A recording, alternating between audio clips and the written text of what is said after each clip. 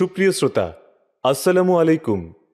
আজ আমরা হজরত আয়ুব আলাইসাল্লামের স্ত্রী, জান্নাতি নারী, ধৈর্য ও ত্যাগের উজ্জ্বল নিদর্শন বিবি রহিমা রাদিয়াল্লাহু আনহার জীবন নিয়ে আলোচনা করার চেষ্টা করব ইনশাল্লাহ তাই আশা রাখব আপনারা শেষ পর্যন্ত আমাদের সাথেই থাকবেন। হাদিস শরীফে বর্ণিত রয়েছে যে, হুজুর সাল্লাহ আলাইসাল্লাম বলেছেন, যদি আল্লাহ তালা ব্যতীত অন্য কাউকে সিজদা করার অনুমতি থাকত, তাহলে নারীদেরকে আদেশ করতাম যে তারা যেন নিজ নিজ স্বামীকে সিজদাহ করে। স্বামী সেবাই নারীকে দেয় পূর্ণ মর্যাদা। পৃথিবীর ইতিহাসে যেই সকল মুসলিম নারীগণ স্বামী সেবা ও সতীত্ব গুণে চিরস্মরণীয় হয়ে রয়েছেন, তাদের মধ্যে অন্যতম হলেন হজরত রহিমা আলাইসাল্লাম পুণ্যবতী রহিমা স্বামীর কল্যাণে যে বিস্ময়কর আদর্শ নারী জাতির জন্য উপস্থাপন করে গিয়েছেন স্বামীর সেবায় নিজেকে উৎসর্গ করে শত দুঃখ কষ্ট বরণ করে যেভাবে ধৈর্যশালিনী হয়ে রমণীর ন্যায় তিলে তিলে নিজেকে বিলিয়ে দিয়েছেন, সারা বিশ্বের নারী জগতে এমন দৃষ্টান্ত সত্যিই বিরল। এমন প্রতিপরায়ণা নারী বিশ্বের ইতিহাসে দ্বিতীয় আর কেউ নেই। তাই সমগ্র বিশ্বের পুণ্যবতী নারীদের হৃদয়ে রহিমার নাম চিরদিন উচ্চারিত হতে থাকবে। নারী জগতে পুণ্যবতী রহিমার ন্যায় মহৎ স্বামীভক্তি নারী সত্যিই খুবই বিরল।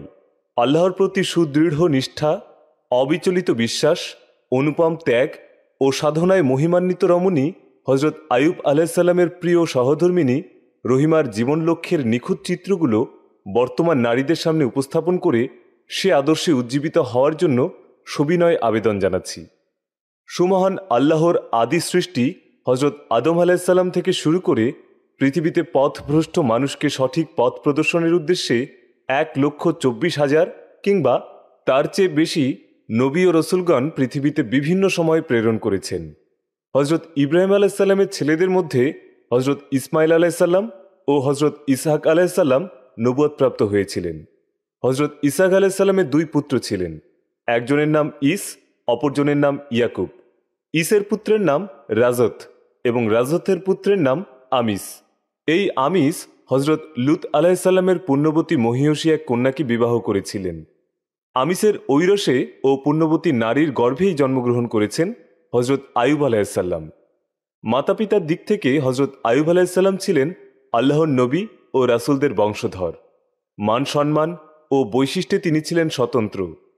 হজরত আয়ুব আলাইসাল্লামের মাতা পিতা যেমন পরম ধার্মিক ছিলেন, তেমনি আবার তার পিতা সিরিয়া রাজ্যের বাদশাহ ছিলেন এবং পরবর্তীতে পিতার বাদশাহী তিনিই লাভ করেছিলেন।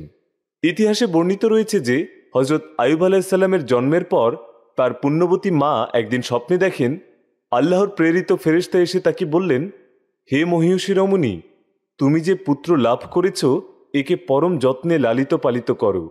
এ শিশু সাধারণ শিশু নয়। পরবর্তীতে তিনি আল্লাহর এক শ্রেষ্ঠ বন্ধুরূপে পৃথিবীর বুকে সুখ্যাতি অর্জন করবেন। নবীদের মাঝে তিনি অত্যন্ত উচ্চস্থান লাভ করবেন। জগতে তিনি এক পরম দুর্লভ বিস্ময় প্রতিপরায়ণা পুণ্যবতী রমণীকে পত্নীরূপে লাভ করবেন। আল্লাহ তাদের দুজনকেই কঠিন পরীক্ষায় যাচাই করে প্রতিফলরূপে মনোবাসনা পূর্ণ করে এবং তাদের পূর্ববর্তী ও পরবর্তী সপ্ত পুরুষ বংশাবলীকে জান্নাত নসিব দান করবেন। এরূপ স্বপ্ন দেখে আয়ুব আলাইসাল্লামের জনকজননী আনন্দে উৎফুল্ল হয়ে আল্লাহ রবুল আলমিনের দরবারে সক্রিয় জ্ঞাপন করলেন। তাই জনকজননী তাদের অতি আদরের সন্তানটিকে নিজেদের সৌভাগ্যের প্রতীক হিসাবে মন প্রাণ দিয়ে লালিত পালিত করতে থাকেন। শৈশব থেকেই তার শিক্ষা দীক্ষা ও চরিত্র গঠনের প্রতি মনোযোগী হন। মাতা পিতার উপযুক্ত শিক্ষার ফলে আয়ুব আলাহিসাল্লাম কৈশোরেই এক আদর্শ চরিত্রের জ্ঞানী বালকরূপে সুখ্যাতি অর্জন করেন।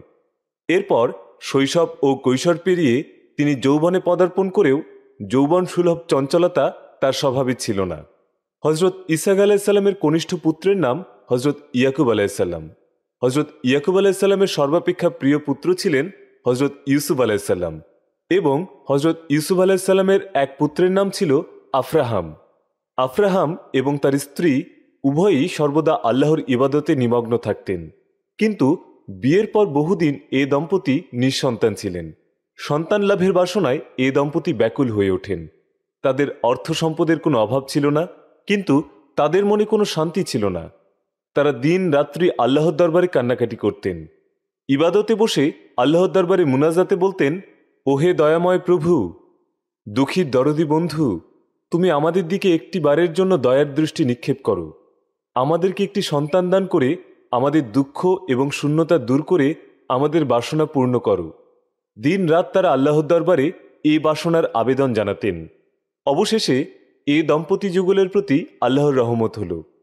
মহান আল্লাহ একদিন স্বপ্নের মাধ্যমে এ দম্পতি যুগলকে জানিয়েই দেন, খুব শীঘ্রই তারা সন্তান লাভ করবেন।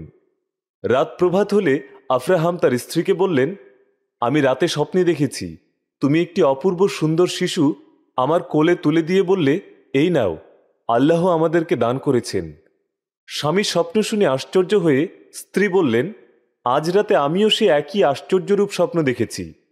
আমি স্বপ্নে দেখি, আমি গর্ভে এক সন্তান ধারণ করেছি। আপনাকে সে সংবাদ জানাচ্ছি। উভয়ই উভয়ের স্বপ্ন শুনে তাদের উভয়ের চোখ মুখেই আশাব্যঞ্জক দৃশ্য ফুটে ওঠে। এর কিছুদিন পর সত্যি আফরাহাম পত্নী গর্ভে সন্তান ধারণ করেন। এবার অনাবিল আনন্দে তারা যেন খুশির জোয়ারে ভাসতে থাকেন। দেখতে দেখতে দশ মাস দশ দিন অতিবাহিত হল এবং যথাসময়ে আফরাহাম পত্নী একটি কন্যা সন্তান প্রসব করলেন। আল্লাহ তাদেরকে এতদিন পর একটি সন্তান দান করেছেন দেখে আফরাহাম খুশিতে আত্মহারা হয়ে পড়েন। কিন্তু আফ্রাহাম পত্নী এতদিন মনে মনে একটি পুত্র সন্তানের প্রত্যাশা করেছিলেন। তাই কন্যা সন্তানকে দেখে তিনি আফ্রাহামের মতো অত বেশি আনন্দিত হতে পারলেন না। কেননা নারীদের মন সর্বদাই পুত্র সন্তানের প্রত্যাশী। তবে কন্যা সন্তানটি দেখে তিনি অসন্তুষ্ট হয়েছেন তা নয়। চাঁদের মতো উজ্জ্বল, অপরূপ, সুন্দর, ফুটফুটে কন্যা লাভ করে পিতার মতো মাতাও আনন্দে উৎফুল্ল হয়ে ওঠেন এবং তার অন্তরে মাতৃত্বের স্নেহ মমতা এবং ভালোবাসার স্রোত বইতে থাকে। আল্লাহ এমনই অপরূপ সৌন্দর্য দিয়ে এ শিশুটিকে গড়েছিলেন যে, একবার তার দিকে দৃষ্টিপাত করে আর এ শিশুর উপর থেকে দৃষ্টি ফেরাতে ইচ্ছা হতো না। কিন্তু কেউ হয়তো ভাবতে পারেননি যে, ভবিষ্যতে এ কন্যাটি আল্লাহ পাকের কঠিন পরীক্ষায় জড়িয়ে পড়ে শয়তানের দৃষ্টির শিকার হয়ে দীর্ঘদিন বিপদে আপদে নিমজ্জিত হয়ে শোক যাতনা ও দুঃখ কষ্টের আঘাতে জর্জরিত হতে থাকবেন এবং নিজের দেহের গোস্ত ও মাথার চুলের বদলে স্বামীর জীবন রক্ষা করে বিশ্ববাসীকে বিস্ময়ে বিমূঢ় করে দেবেন। সেদিন হয়তো কেউ ভাবতেও পারেননি যে ভবিষ্যতে এ কন্যাটি স্বামীর সেবায় বিশ্বব্যাপী অক্ষয় নিদর্শন স্থাপন করবে। পতিপরাণা এ পুণ্যবতী রমণীর পবিত্র নাম চিরদিন, চিরকাল অক্ষয় হয়ে থাকবে। পিতামাতা অতি আকাঙ্ক্ষায়, অতি আদরের ধন আল্লাহর রহমতের দান এ কন্যাটি লাভ করে তারা কন্যাটির নাম রাখলেন রহমত। পরে এ রহমত নাম রূপান্তরিত হয়ে রহিমা নামে সুপরিচিত হয়। রহিমার পিতা আফরাহাম কেনান দেশের সর্বাপেক্ষা ধনবান ব্যক্তি ছিলেন।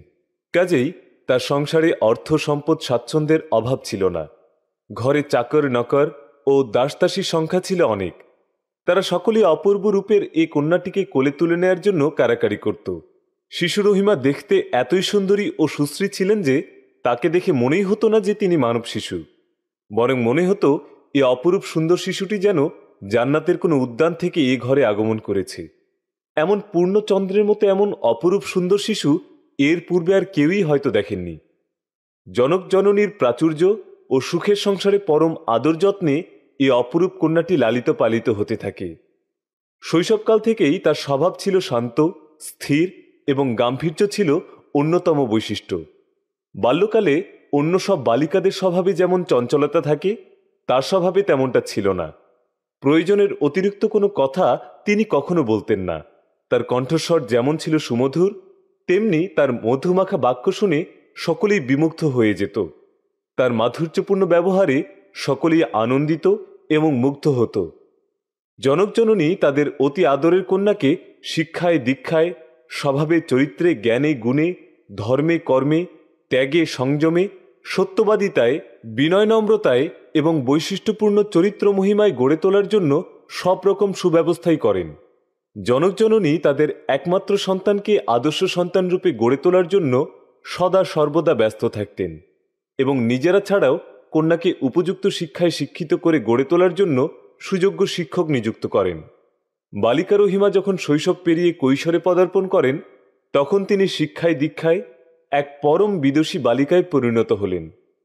আল্লাহর প্রতি সুদৃঢ় বিশ্বাস, সত্যবাদিতা, দয়া ও ক্ষমাশীলতা বিনয় নম্রতা ধৈর্য সংযম এবং ধার্মিকতা প্রভৃতি মহৎ গুণাবলী দ্বারা শৈশবকাল থেকেই তিনি নিজেকে সুশোভিত করেন। কিশোরী রহিমা জনকজননীর আদর্শ শিক্ষায় দিনে দিনে পরিপূর্ণতা লাভ করেছিলেন। কিশোরী বয়সেই রহিমা এমনই মহৎ চরিত্রের অধিকারী ছিলেন যে তিনি ধনবান মনিব কন্যা বলে কখনো গর্ব করেননি, কিংবা দাসদাসী ও চাকরদের সাথে কখনো কোনো কঠোর বাক্যও উচ্চারণ করেননি। শৈশব কৈশোরেই তিনি যেমন ছিলেন ধার্মিক, তেমনি গরিব দুঃখীর প্রতি ছিলেন খুবই দয়াশীল। অপরাধীর অপরাধ ক্ষমা করাই ছিল তার চরিত্রের বিশেষ একটি মহৎ গুণ। রহিমা তার চরিত্রের সকল মহৎ গুণই তার পিতামাতার কাছ থেকে শিক্ষালাভ করেছিলেন। রহিমা কৈশোর বয়সেই এমনই মহৎ গুণাবলীর অধিকারী হয়েছিলেন যে, দাসদাসীদের ছোটখাটো অপরাধকে তিনি কখনো অপরাধ বলে গণ্য করতেন না। তবে দাসদাসীগণ মারাত্মক কোনো অপরাধ করলে তাদেরকে কাছে ডেকে শান্ত ও কোমল কণ্ঠে সাবধান করে দিতেন, যেন ভবিষ্যতে তারা এমন অন্যায় বা ভুল কখনো না করে। এসব থেকে বোঝা যায়, কিশোরী বয়সেই রহিমার মন মানসিকতা কেমন ছিল। রহিমা কৈশোর পেরিয়ে যৌবনে পদার্পণ করলেন। দ্বিতীয়বার চাঁদ যেমন সুন্দর আকাশের বুকে আস্তে আস্তে বিকশিত হয়ে পরিপূর্ণতা লাভ করে, তেমনি রহিমাও ক্রমশ যৌবনে পদার্পণ করে রূপে গুণে বিকশিত হয়ে ওঠেন। রহিমার সৌন্দর্যের ও গুণের আলোচনা এখন দেশের প্রতিটি ঘরে ঘরে শোনা যাচ্ছে। জনকজননী এমন রূপবতী এবং পুণ্যবতী কন্যা সন্তান লাভ করে আনন্দে তাদের হৃদয় পুলকিত হয়ে ওঠে। একদিকে যেমন রহিমার মতো কন্যা লাভ করে আনন্দিত, তেমনি বিবাহযোগ্যা কন্যাকে নিয়ে দুশ্চিন্তাগ্রস্ত হয়ে পড়েন। রহিমার রূপ, গুণ, চরিত্র মাহাত্মে মুগ্ধ হয়ে দেশ বিদেশ থেকে বহু ঐশ্বর্যশালী ব্যক্তিগণ বিবাহের প্রস্তাব পাঠাতে শুরু করেন। কোনো কোনো প্রস্তাব প্রেরক এমনও পণ করেন, যে কোনো মূল্যেই হোক রহিমাকে পত্নীরূপে লাভ করতেই হবে। এতে অর্থ সম্পদ যতই খরচ হোক না কেন, এতে পিছপা হবেন না। রহিমার জনকজননী এসব কথা শুনে এটা কন্যার জন্য অশুভ লক্ষণ মনে করে ভীষণ আতঙ্কিত হলেন। তারা সদা সর্বদা আল্লাহর দরবারে প্রার্থনা করতে থাকলেন, হে মাবুত, দয়াময় প্রভু, তুমি অসহায়ের সহায়, নিরুপায়ের উপায়, বিপন্নের কাণ্ডারি, প্রভু, আপনি আমাদের হৃদয়ের ধন, আপনার এ দাসীটির প্রতি দয়া করে ওর একটি সদ্গতি করে দিন, যেন সে আপনার কোনো প্রিয়বান্দার পদপ্রান্তি থেকে সুখে স্বাচ্ছন্দ্যে বিপদে আপদে আপনার নাম স্মরণ করতে পারে। হে প্রভু, আপনার কাছে আপনার দুই অধম বান্দার মিনতি, আমাদের এই কন্যাটিকে আপনি যে কোনো অসৎ ব্যক্তির দুরাশার ছোবল থেকে বাঁচিয়ে রাখুন। রহিমার জনকজননীর করুণ মিনতি আল্লাহ রব্বুল আলমিন কবুল করলেন এবং রহিমার জন্য তৎকালীন দুনিয়ার সর্বশ্রেষ্ঠ পুণ্যমান বান্দাকে স্বামীরূপে মনোনীত করলেন। এরপর আল্লাহ শীঘ্রই স্বপ্নযোগে রহিমার জনককে তা জানিয়ে দেন, তোমরা একটু অপেক্ষা করো। অতি শীঘ্রই আমার নবী বাদশাহ হজরত আয়ুব আলাইসাল্লাম সিরিয়া থেকে তোমার দেশে ভ্রমণ করতে এসে যে কোনো সূত্রে তোমাদের সাথে পরিচয় ঘটবে। তখন তার কাছে তোমাদের কন্যা সমর্পণ করবে। আফরাহাম দম্পতি কন্যার বিবাহ সম্পর্কে এরূপ স্বপ্ন দেখে কিছুটা স্বস্তির নিঃশ্বাস ফেললেন এবং সে শুভ মুহূর্তের আগমন আশায় অধীর আগ্রহে অপেক্ষা করতে থাকলেন। এরপর আল্লাহর ইচ্ছায় হজরত আয়ুব আলাইসাল্লাম সঙ্গীগণ সহ ভ্রমণ করতে করতে একদিন হঠাৎ সঙ্গীদের কাছ থেকে বিচ্ছিন্ন হয়ে পড়লেন। তৎকালে মানুষের যাতায়াতের রাস্তা ছিল একেবারেই অপ্রতুল এবং পথ ঘাট যা ছিল তাও বন জঙ্গল ও দুর্গম এলাকার মধ্য দিয়ে এমনভাবে যে একবার পথ হারিয়ে গেলে বিদেশি পথিকদের নির্দিষ্ট পথ খুঁজে বের করা ছিল একেবারেই অসম্ভব। হজরত আয়ুব আলাইসাল্লাম সঙ্গীদের হারিয়ে তাদের কোনো খোঁজ পেলেন না। সঙ্গীগণকে হারিয়ে পথ ভুলে অচেনা পথ ধরে চলতে থাকলেন। অবশেষে বিকেল গড়িয়ে সন্ধ্যা হতে থাকল। কেননা দেশের অচেনা পথে চলতে চলতে সহসা পথের পাশে বিরাট এক প্রাসাদ ভবন এবং তার অনতি দূরে একটি পানির কূপ দেখতে পেলেন। একে তো গ্রীষ্মকাল, এর উপর সারাদিন পথ চলে হজরত আইব আলাইসাল্লাম ক্ষুধায়, তৃষ্ণায় একেবারে কাতর হয়ে পড়লেন। পানির পিপাসায় তার কণ্ঠ শুকিয়ে গিয়েছিল। তাই পানির কূপ দেখতে পেয়ে পানি পান করার জন্য কূপটির কাছে অগ্রসর হলেন। কিন্তু কূপ থেকে পানি তুলে নিয়ে রহিমার দাসীগণ বাড়ির ভিতর ঢুকে পড়ছিল। পানি তোলার পাত্রটিও তারা সাথে করে নিয়ে যাচ্ছিল। রহিমাও দাসীদের সাথে কূপের কাছে ছিলেন। দাসীদের পিছনে পিছনে তিনিও বাড়িতে প্রবেশ করেছিলেন। এ সময় হজরত আয়ুব আলাইসাল্লামের সাথে তার সাক্ষাৎ ঘটে। হজরত আয়ুব আলাইসাল্লাম বলেন, আমি পিপাসায় অত্যন্ত কাতর হয়েছি। আমাকে পানি পান করিয়ে পিপাসা দূর করো।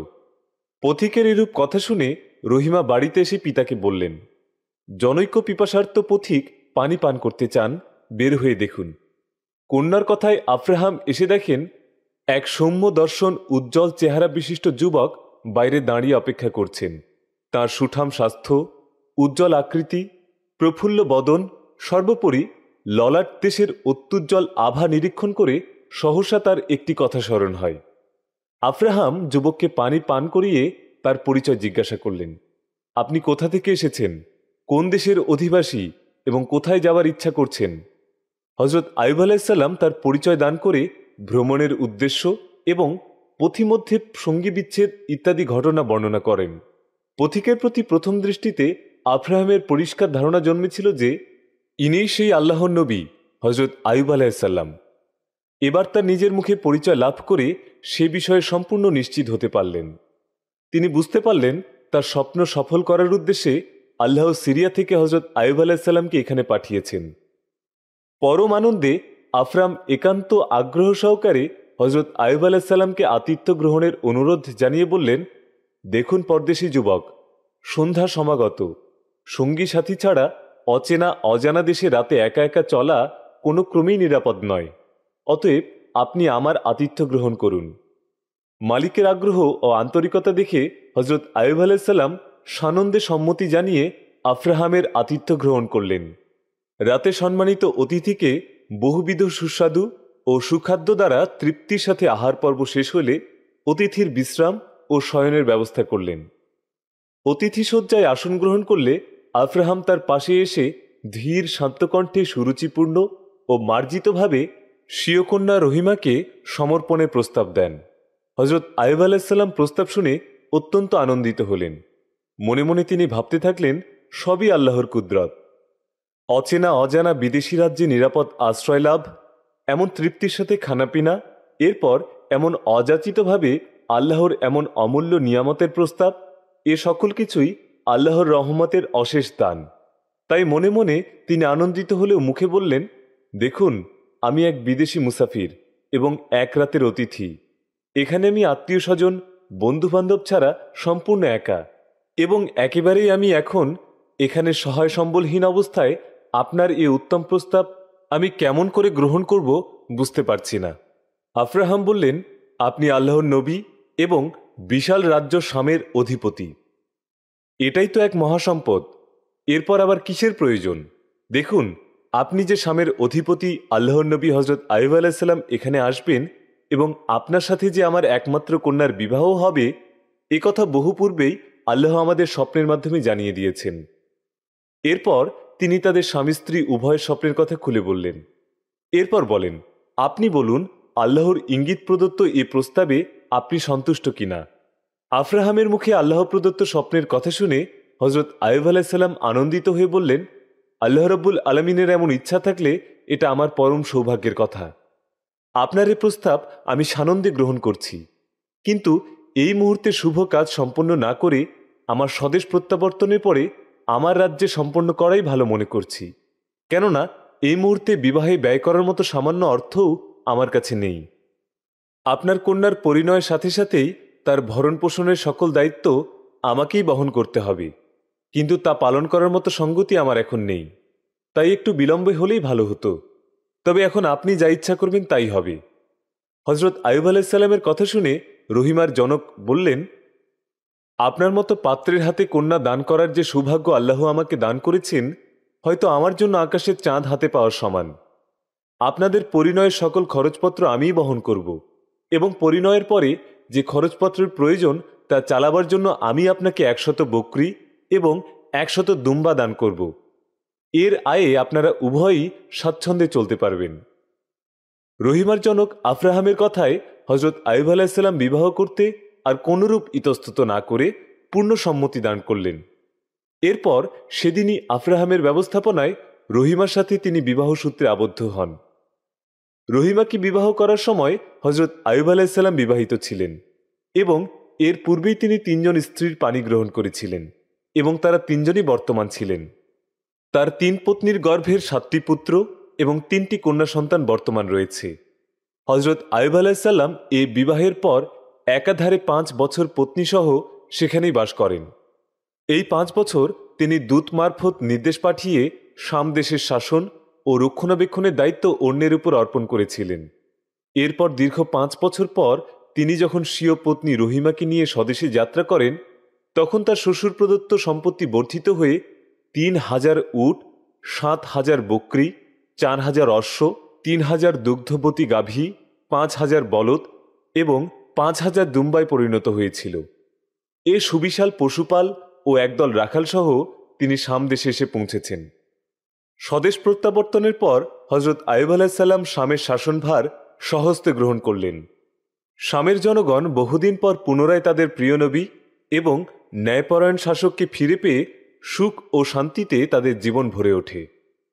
ক্রমশ যতই দিন যেতে থাকে হজরত আয়ুব আলাহিসাল্লামের ঐশ্বর্য এবং বিষয় সম্পত্তি ততই বৃদ্ধি পেতে থাকে।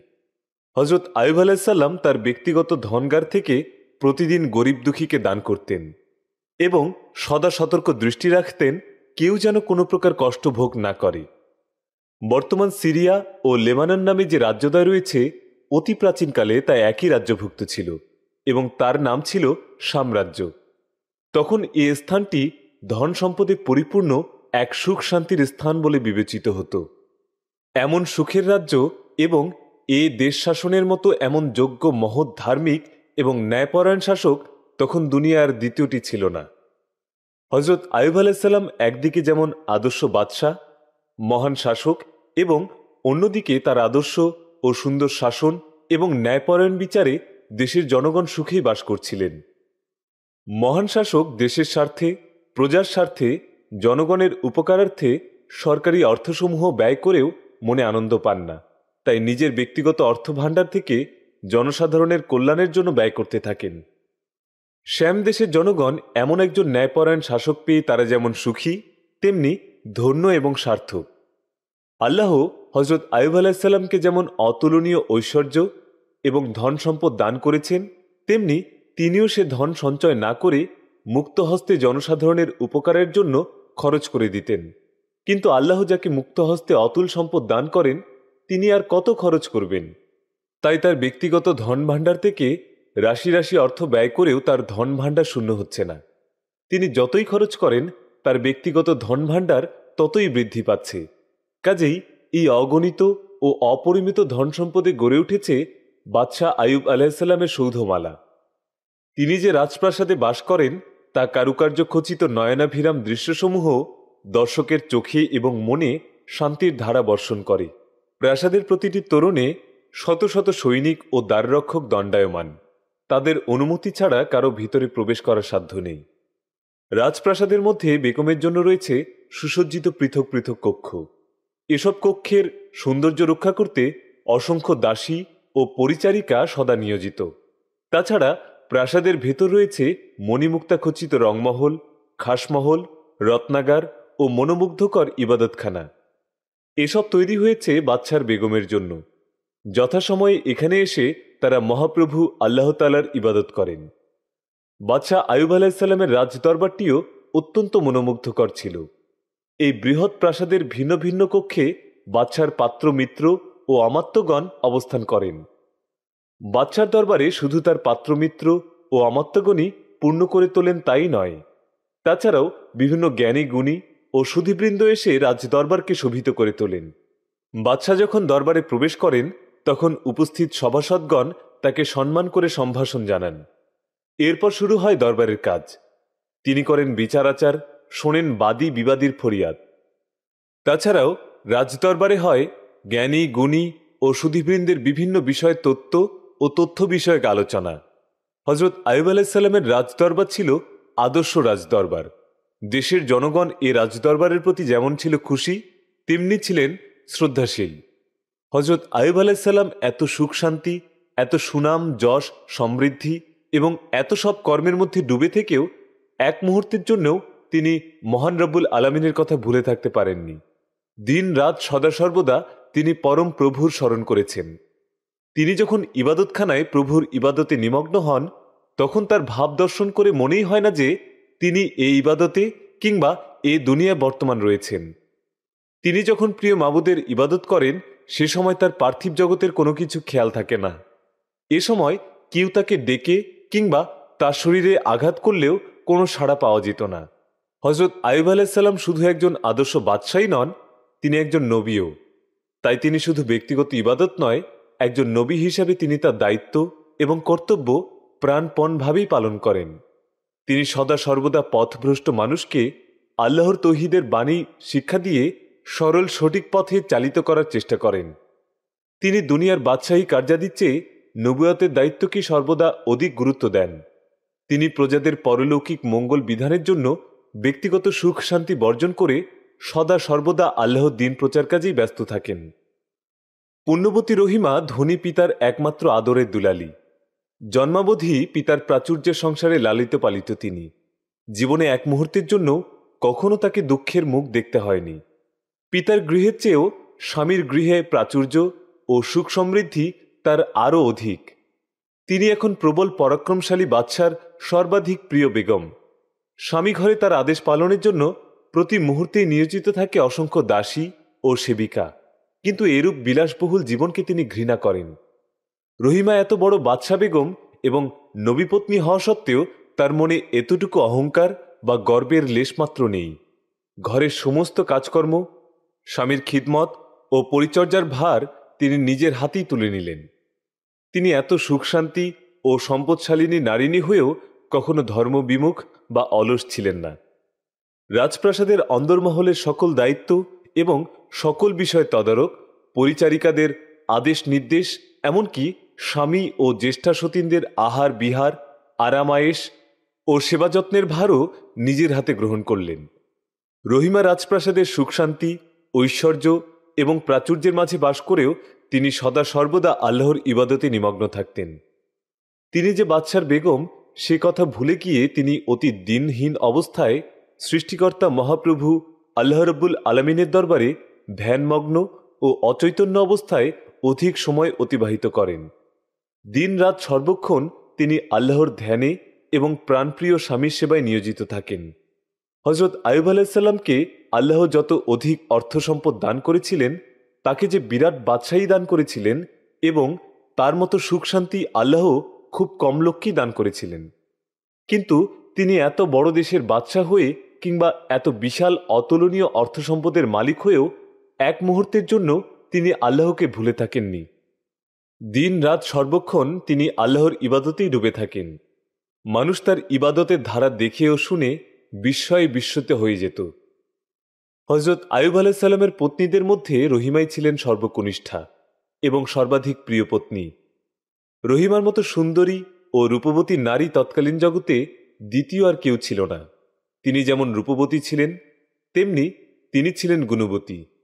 তার স্বভাব চরিত্র এবং গুণ গরিমার এত সুখ্যাতি ছিল যে সামদেশের জনগণ সদা সর্বদা তার গুণচর্চায় মুখর থাকত। আল্লাহ রব্বুল আলমিনের প্রতি হজরত রহিমার ছিল অগাধ বিশ্বাস এবং ভক্তি। বিশাল সাম্রাজ্যের রাজরানী হয়েও তিনি দিন রাত সুদীর্ঘ সময় আল্লাহর ধ্যান এবং ইবাদতে নিমগ্ন থাকতেন। রাজপ্রাসাদে শত শত দাসী ও সেবিকা থাকা সত্ত্বেও স্বামীর সকল সেবা ও পরিচর্যা রহিমা নিজের হাতেই করতেন।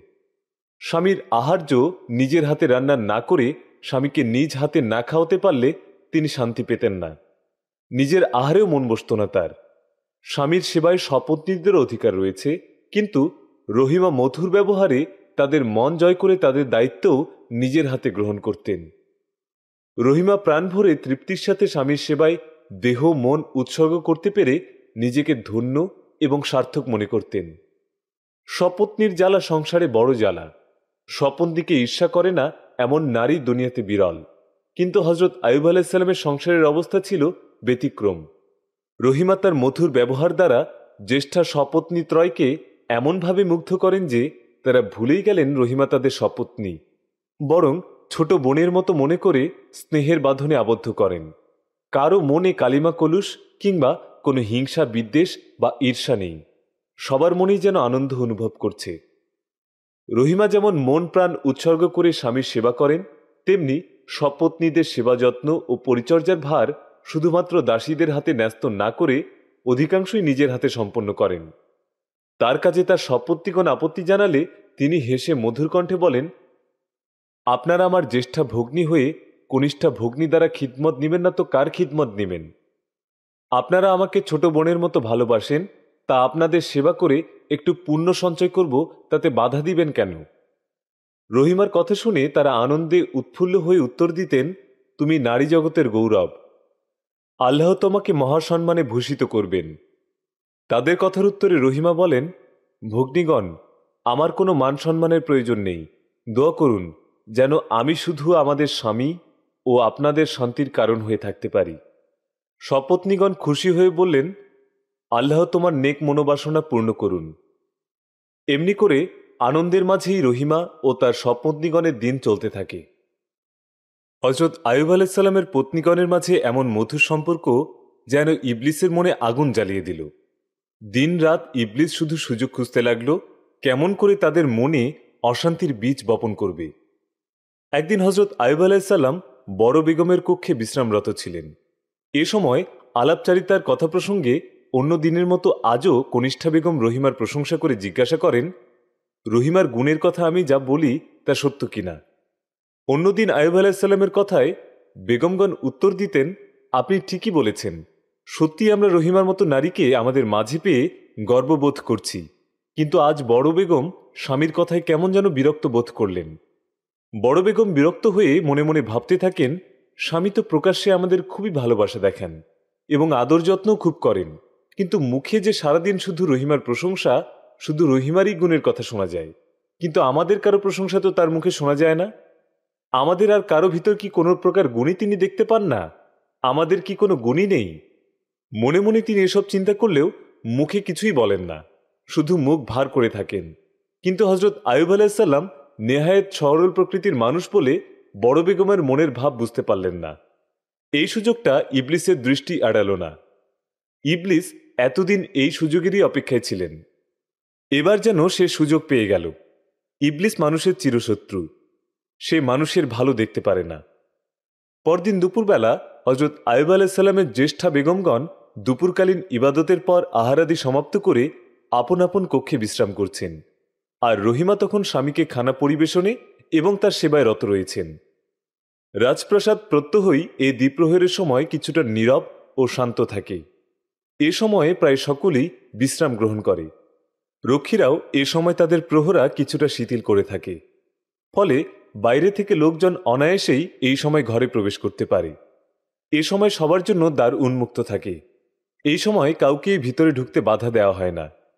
এমনই সুযোগে ইবলিস এক বৃদ্ধ ভিকারিনীর বেশে সদর তরুণ অতিক্রম করে রাজপ্রাসাদে ঢুকে ধীর পায়ে অন্দরমহলে প্রবেশ করে সামনেই একটি দাসীকে দেখতে পেয়ে জিজ্ঞাসা করে, আমার মা জননীরা কোথায়? দাসীটি বলে, তারা এখন আরামকক্ষে বিশ্রামে রয়েছেন। বৃদ্ধারূপী ইবলিস বলেন, হায়, পোড়া কপাল আমার, তা না হলে এ সময় আসব কেন? কত আশা নিয়ে তাদের সাথে দেখা করতে এলাম। এখন কি করি বলো তো? দাসী বলল বেগম সাহেবা এক বৃদ্ধা ভিকারিনী বড় বেগম বলেন ভিকারিনী কি চায়? দাসী বলল, বৃদ্ধা আপনাদের সাথে দেখা করতে চায়। বড় বেগম বললেন, বৃদ্ধাকে এখানে নিয়ে এসো। দাসী ভিকারিনীকে বড় বেগমের কক্ষে নিয়ে আসে। বড় বেগমের কক্ষে প্রবেশ করেই বৃদ্ধা বড় বেগমকে সালাম জানিয়ে বলল, আম্মা, আজ আমার বড় কপাল। মনে মনে ভেবেছিলাম রাজপ্রাসাদে এসে যদি প্রথমেই আপনার মুখ দেখতে পাই, তবে নিজেকে সার্থক মনে করব। ভিখারির কথা শুনে বড় বেগম বললেন, কেন? আমার এমন কি গুণ? বৃদ্ধারূপী ইবলিস বলল, আপনার গুণের সীমা নেই আম্মা। আপনার যে কত গুণ, তা সবচেয়ে বেশি জানেন আমাদের বাদশাহ। এ রাজত্ব, এ ধন সম্পদ, আরামায়েশ, সবকিছুই তো আমাদের ভাগ্যেই জুটেছে। বেগম উত্তর করলেন, এ তো তার ফল। বৃদ্ধরূপী ইবলিস এরূপ একটি মনমতো কথাই আশা করেছিলেন। তাই মনে মনে খুশি হয়ে অত্যন্ত নরম কণ্ঠে বললেন, কি বললেন আম্মা? গুণীর কদর হয় না। বড় বেগম এ কথার কোনো উত্তর দিলেন না। কিন্তু বৃদ্ধারূপী ইবলিস তাতে দমবে কেন? তাই আবার বলল, ভিক্ষার জন্য আমাকে বহু ধনী ও জ্ঞানী গুণীদের কাছে যাতায়াত করতে হয়। তাই অনেক রীতিনীতি দেখে শুনে বহু শিক্ষা লাভ করেছি। দুনিয়া থেকে আসল ও গুণের কদর উঠে গিয়েছে। এখন এখানে নকল আর মেকিরই রাজত্ব চলছে। সাধু সজ্জন লোকেরা বড়ই সরল। তারা অসৎ চতুর লোকের ছলনা বুঝতে পারে না। আপনার ঘরেও সে ছলনা প্রবেশ করেছে। আপনার স্বামী সোনার মানুষ। তার মতো সরল ভালো মানুষ দুনিয়ায় আর নেই। তিনি নিজের মতোই সকলকে ভাবেন। তিনি নকলকে আসল ভেবেছেন বলেই এরূপ ঘটছে। বৃদ্ধা কথাগুলো যেন বড় বেগমের মনের কথাই। কথাগুলো ভালোই লাগে তার। তাই তিনি বললেন, কিন্তু এখন উপায় কি বলো? বৃদ্ধা বলল, বাদশার মুখে দিনরাত শুধু রহিমার গুণ বর্ণনা কেন? আর বেগমগণের কি কিছুই নেই? আম্মা সব কিছুই ওই ছলনাময়ী ডাইনি মেয়েটারই কীর্তি। স্বামীকে সেবা যত্নের ভান দেখিয়ে মন জয় করেই এমন অবস্থা সৃষ্টি করেছে। আম্মা, আপনার জন্য এর ফল খুবই অশুভ। শুধু আপনার জন্য নয়, আপনার আরও যে দুটি হতভাগিনী রয়েছেন, তাদের জন্য আপনাদের সন্তানদের ভবিষ্যৎ নষ্ট করার জন্যই এমন ছলাকলা করছে। বাচ্চা যাতে আপনাদের সন্তানগণকে কোনো সম্পত্তি দিয়ে না যান, তার জন্য স্বামীকে এমনভাবে মজিয়ে ভুলিয়ে রাখছে যেন বাচ্চা সকল কিছু তাকেই দিয়ে যান। রহিমা শুধু নিজের স্বার্থের জন্যই এমন গুণপনা এবং ভালো মানুষই দেখাচ্ছে। নিজের স্বার্থ ছাড়া সৎ উদ্দেশ্য নিয়ে সে কিছুই করছে না। বুঝলেন তো আম্মা? বড় বেগম বললেন, সবই তো বুঝলাম, কিন্তু স্বামীকে এসব কথা বুঝাবো কেমন করে? স্বামীর মনের মাঝে রহিমা এমনভাবে প্রবেশ করেছে যে তাকে এসব কথা সরাসরি বললে তিনি হয়তো বিশ্বাসই করবেন না। বড় বেগম আর বৃদ্ধার কথোপকথনের মাঝেই সেখানে দ্বিতীয় এবং তৃতীয় বেগম এসে উপস্থিত হয়ে বললেন, বোন, এ বৃদ্ধার সাথে আপনি কিসের আলাপ করছেন? বড় বেগম তখন সকল কথা তাদের কাছে খুলে বললেন। সব কথা শুনে তারা বুঝলেন, বৃদ্ধা তাদের কষ্ট বুঝতে পেরেছে। তাই হয়তো হিতাকাঙ্ক্ষী রূপে তাদেরকে সৎ পরামর্শ দান করেছে। বৃদ্ধা তাদের উদ্দেশ্যে বললেন, আম্মা, আমি ভিখারিনী মানুষ, আপনারা রাজরানী, আপনাদেরকে আমি কি বুদ্ধি দেব? তবে একটি কথা মনে রাখবেন, আপনাদের মধ্যে কেউটে প্রবেশ করেছে। তাই সাবধানে থাকবেন, আপনারা বড় ঘরের বড় জনের কন্যা, তাই বড় মন দিয়ে সবাইকে দেখেন, কিন্তু আপনাদের বড় মনের সুযোগে ছোট মনের লোকেরা আপনাদের বর্তমান এবং ভবিষ্যৎ নষ্ট করার দুরাশায় মেতে উঠেছে। কিন্তু বেশি বাড়তে দিবেন না, যে যেমন তার সাথে ঠিক তেমনই ব্যবহার করবেন। আপনাদের অনেক সময় নষ্ট করলাম, এখন যাই আম্মা। বৃদ্ধা ভিকারিনী উঠে দাঁড়াতেই বড় বেগম তার হাতে কয়েকটি মুদ্রা গুজে দেন। কিন্তু বৃদ্ধারূপী ইবলিস বলল, আম্মা, আমি ভিকারিনী হলেও এমন ছোট জাতের লোক নই। সবার কাছ থেকে ভিক্ষা কি নিতে হয়? আপনাদের মতো মানুষ যে আমার মতো ভিকারিনীর সাথে এতক্ষণ সময় নষ্ট করে আলাপ করেছেন, তাই তো আমার জন্য বড় ভিক্ষা। কথাগুলো বলে মুদ্রা কয়েকটি রেখে বৃদ্ধারূপী ইবলিস কক্ষ থেকে বের হয়ে গেল। বৃদ্ধা এরূপ লোভ সম্বরণ করতে দেখে বেগমগণ বিস্মিতা হয়ে গেলেন। তারা বিশ্বাস করলেন যে বৃদ্ধা ভিকারিনী হলেও সে খুবই বুদ্ধিমতী এবং তাদের নিঃস্বার্থ শুভাকাঙ্ক্ষিনী বৃদ্ধারূপী ইবলিস রাজপ্রাসাদ থেকে বের হয়ে গেল বটে, তবে রহিমার শপথনিগণের মনে যে কুমন্ত্রণা দিয়ে গেল, তারই জন্য এখন তারা রহিমাকে তাদের চরম শত্রু ভাবতে থাকলেন। তারা রহিমাকে ছোট বোনের মতো ভালোবাসতেন, অথচ এখন তাকে রাজপ্রাসাদ থেকে তাড়িয়ে দিতে পারলেই যেন তারা খুশি। তারা প্রতি কথায়, কাজে ও ব্যবহারে, এমনকি দাসদাসী দ্বারা প্রতি মুহূর্তেই রহিমাকে অতিষ্ঠ করে তুলতে থাকেন। এমনকি হজরত আয়ুব আলাহিসাল্লামের কাছেও তার বিরুদ্ধে নানাবিধ দোষারোপ করতে থাকেন। কিন্তু হজরত আয়ুব আলাহিসাল্লাম অত্যন্ত ধৈর্য ও বিচক্ষণতার সাথে সব বিষয় পরীক্ষা করে বোঝেন রহিমা একেবারে নির্দোষ, বরং তার শপথনিগণই দোষী। তারা অন্যায়ভাবে তার বিরুদ্ধে অভিযোগ করছে। হজরত আয়ুব আলাহিসাল্লাম তার জ্যেষ্ঠা পত্নীগণের এই অন্যায় ও অপরাধের জন্য তাদেরকে কঠিন শাস্তি দিবেন ঠিক করলেন। কিন্তু তাদেরকে শাস্তি দিবার পূর্বেই রহিমা স্বামীর ইচ্ছার কথা জানতে পেরে স্বামীর দুপান জড়িয়ে ধরে কেঁদে বললেন, প্রিয়তম স্বামী, যত কঠিন শাস্তি, যত কঠিন দ্বন্দ্ব দিতে হয়, আমাকে দিন। আপনাকে আল্লাহর শপথ নিয়ে অনুরোধ করছি। আপনার বড় পত্নীগণকে আপনি ক্ষমা করে দিন। হজরত আয়ুব আলাহিসাল্লাম বললেন, রহিমা, তারা তো মহা অপরাধে অপরাধী। তাদেরকে তো ক্ষমা করা যায় না। রহিমা স্বামীর পা জড়িয়ে ধরে চোখের অশ্রু ফেলে মিনতি করে বললেন, আমি তাদের পক্ষে প্রতিশ্রুতি দান করছি। তারা আর কখনো অপরাধ করবেন না। আপনি তাদেরকে ক্ষমা করে দিন। এরূপ কান্না এবং আকুল মিনতিতে হজরত আয়ুব আলাইসাল্লামের মন নরম হয়ে গেল।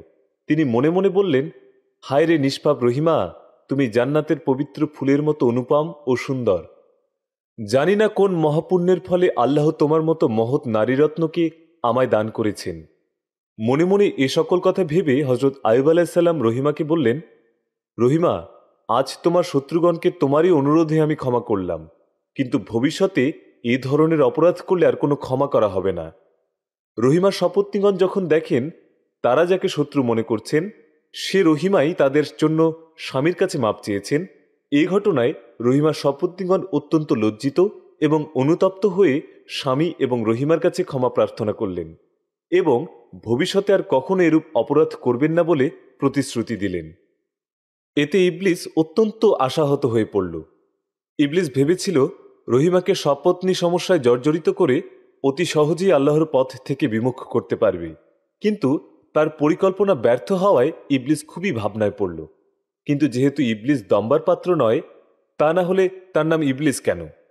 তাই সে আবার নতুন বুদ্ধি করে হজরত আয়ুব আলাইসাল্লাম ও রহিমার বিরুদ্ধে পরিকল্পনা করতে থাকে। হজরত আয়ুব আলাইসাল্লাম এবং রহিমাকে আল্লাহর রাস্তাচ্যুত করতে না পেরে কুচক্রি ইবলিস যেন প্রতিহিংসায় উন্মত্ত হয়ে উঠল। মনে মনে বলল, কত আদম সন্তান ধ্বংস করে দিলাম। কত বুজুর্গ অলি আউলিয়া আল্লাহর রাস্তা থেকে সরিয়ে দিলাম। আর এখন কি না এ দুটি মানব মানবীর কাছে ব্যর্থ হয়ে ফিরে যাব? না, কিছুতেই পরাজয় স্বীকার করা চলবে না। এ দুটি নরনারীকে দেখেই নিতে হবে। প্রয়োজন হলে সমগ্র সিরিয়া রাজ্যে প্রলয়কাণ্ড ঘটিয়ে দেব। মান সম্মান, ঐশ্বর্য সম্পত্তি সব মিসমার করে দেব। যেমন করেই হোক, এ দুটি নরনারীকে আল্লাহর রাস্তাচ্যুত করব। কুচক্রি ইবলিস হজরত আয়ুব আলাহিসাল্লাম এবং রহিমার সর্বনাশ সাধন করে তাদেরকে আল্লাহর প্রতি বীতশ্রদ্ধা ও বিমুখ করার জন্য মরণপণ চেষ্টা চালাতে লাগল। একদিন হজরত আয়ুব আলাহিসাল্লাম তার রাজদরবারে সভাসদ ও অমাত্যগণ পরিবেষ্টিত অবস্থায় বসেছিলেন।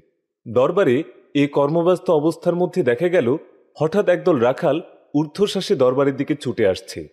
তারা দরবারে উপস্থিত হয়ে বাদশাকে সম্ভাষণ করে অত্যন্ত ত্রস্তভাবে বলল, বাদশাহ, আমরা এক মর্মান্তিক দুঃসংবাদ বহন করে এনেছি।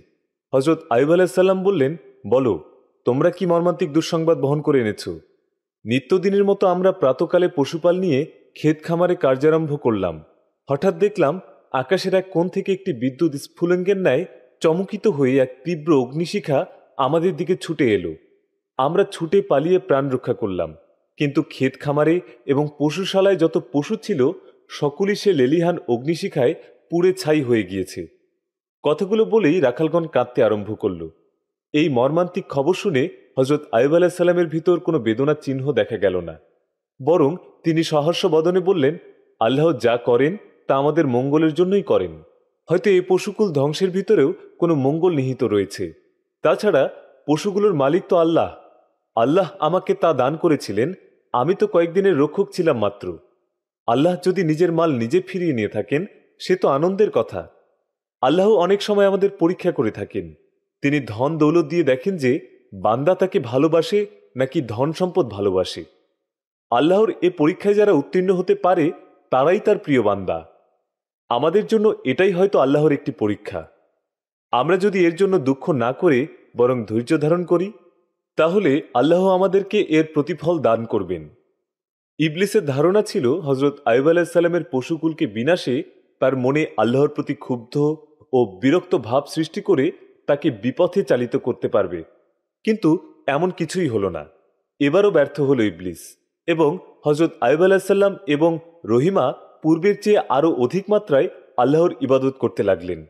ইবলিস বারবার ব্যর্থ হয়ে পরাজয়ের গ্লানি বরণ করে প্রতিহিংসা আরও তীব্র আকার ধারণ করল।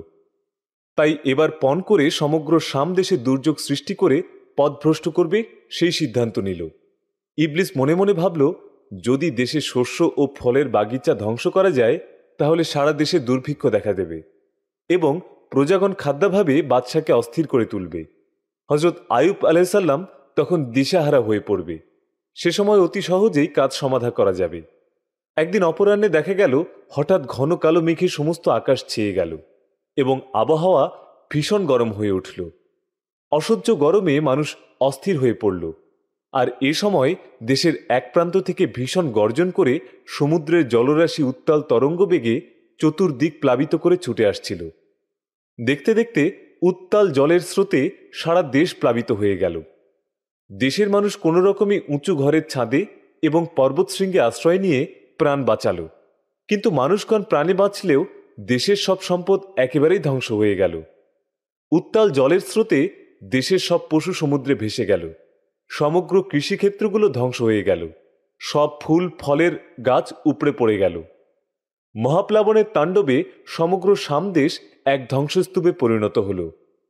মহাপ্লাবনের স্রোতে দেশের সবকিছু ভাসিয়ে নিয়ে দেশকে নিঃস্ব পরিণত করে অবশেষে জলরাশি নেমে গেল বটে, কিন্তু দেশের মানুষকে করে গেল রিক্ত, সর্বস্ব হারা।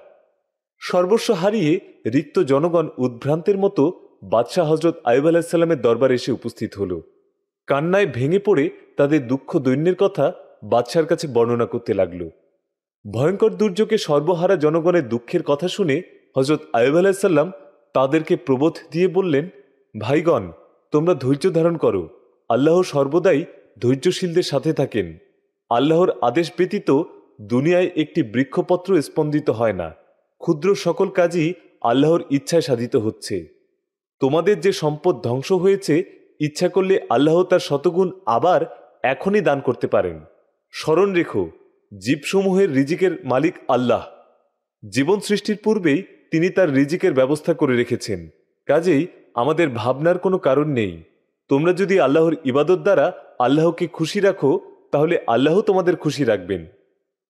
বিপদ দেখে তোমরা ঘাবড়াবে না। তোমাদের বর্তমান কোনো ভাবনা নেই। রাজভাণ্ডারে যে অফুরন্ত খাদ্যশস্য আছে, তাতে আল্লাহর ইচ্ছায় দেশের সমস্ত লোকের একাধারে পাঁচ বছরের খাবার ব্যবস্থা হয়ে যাবে।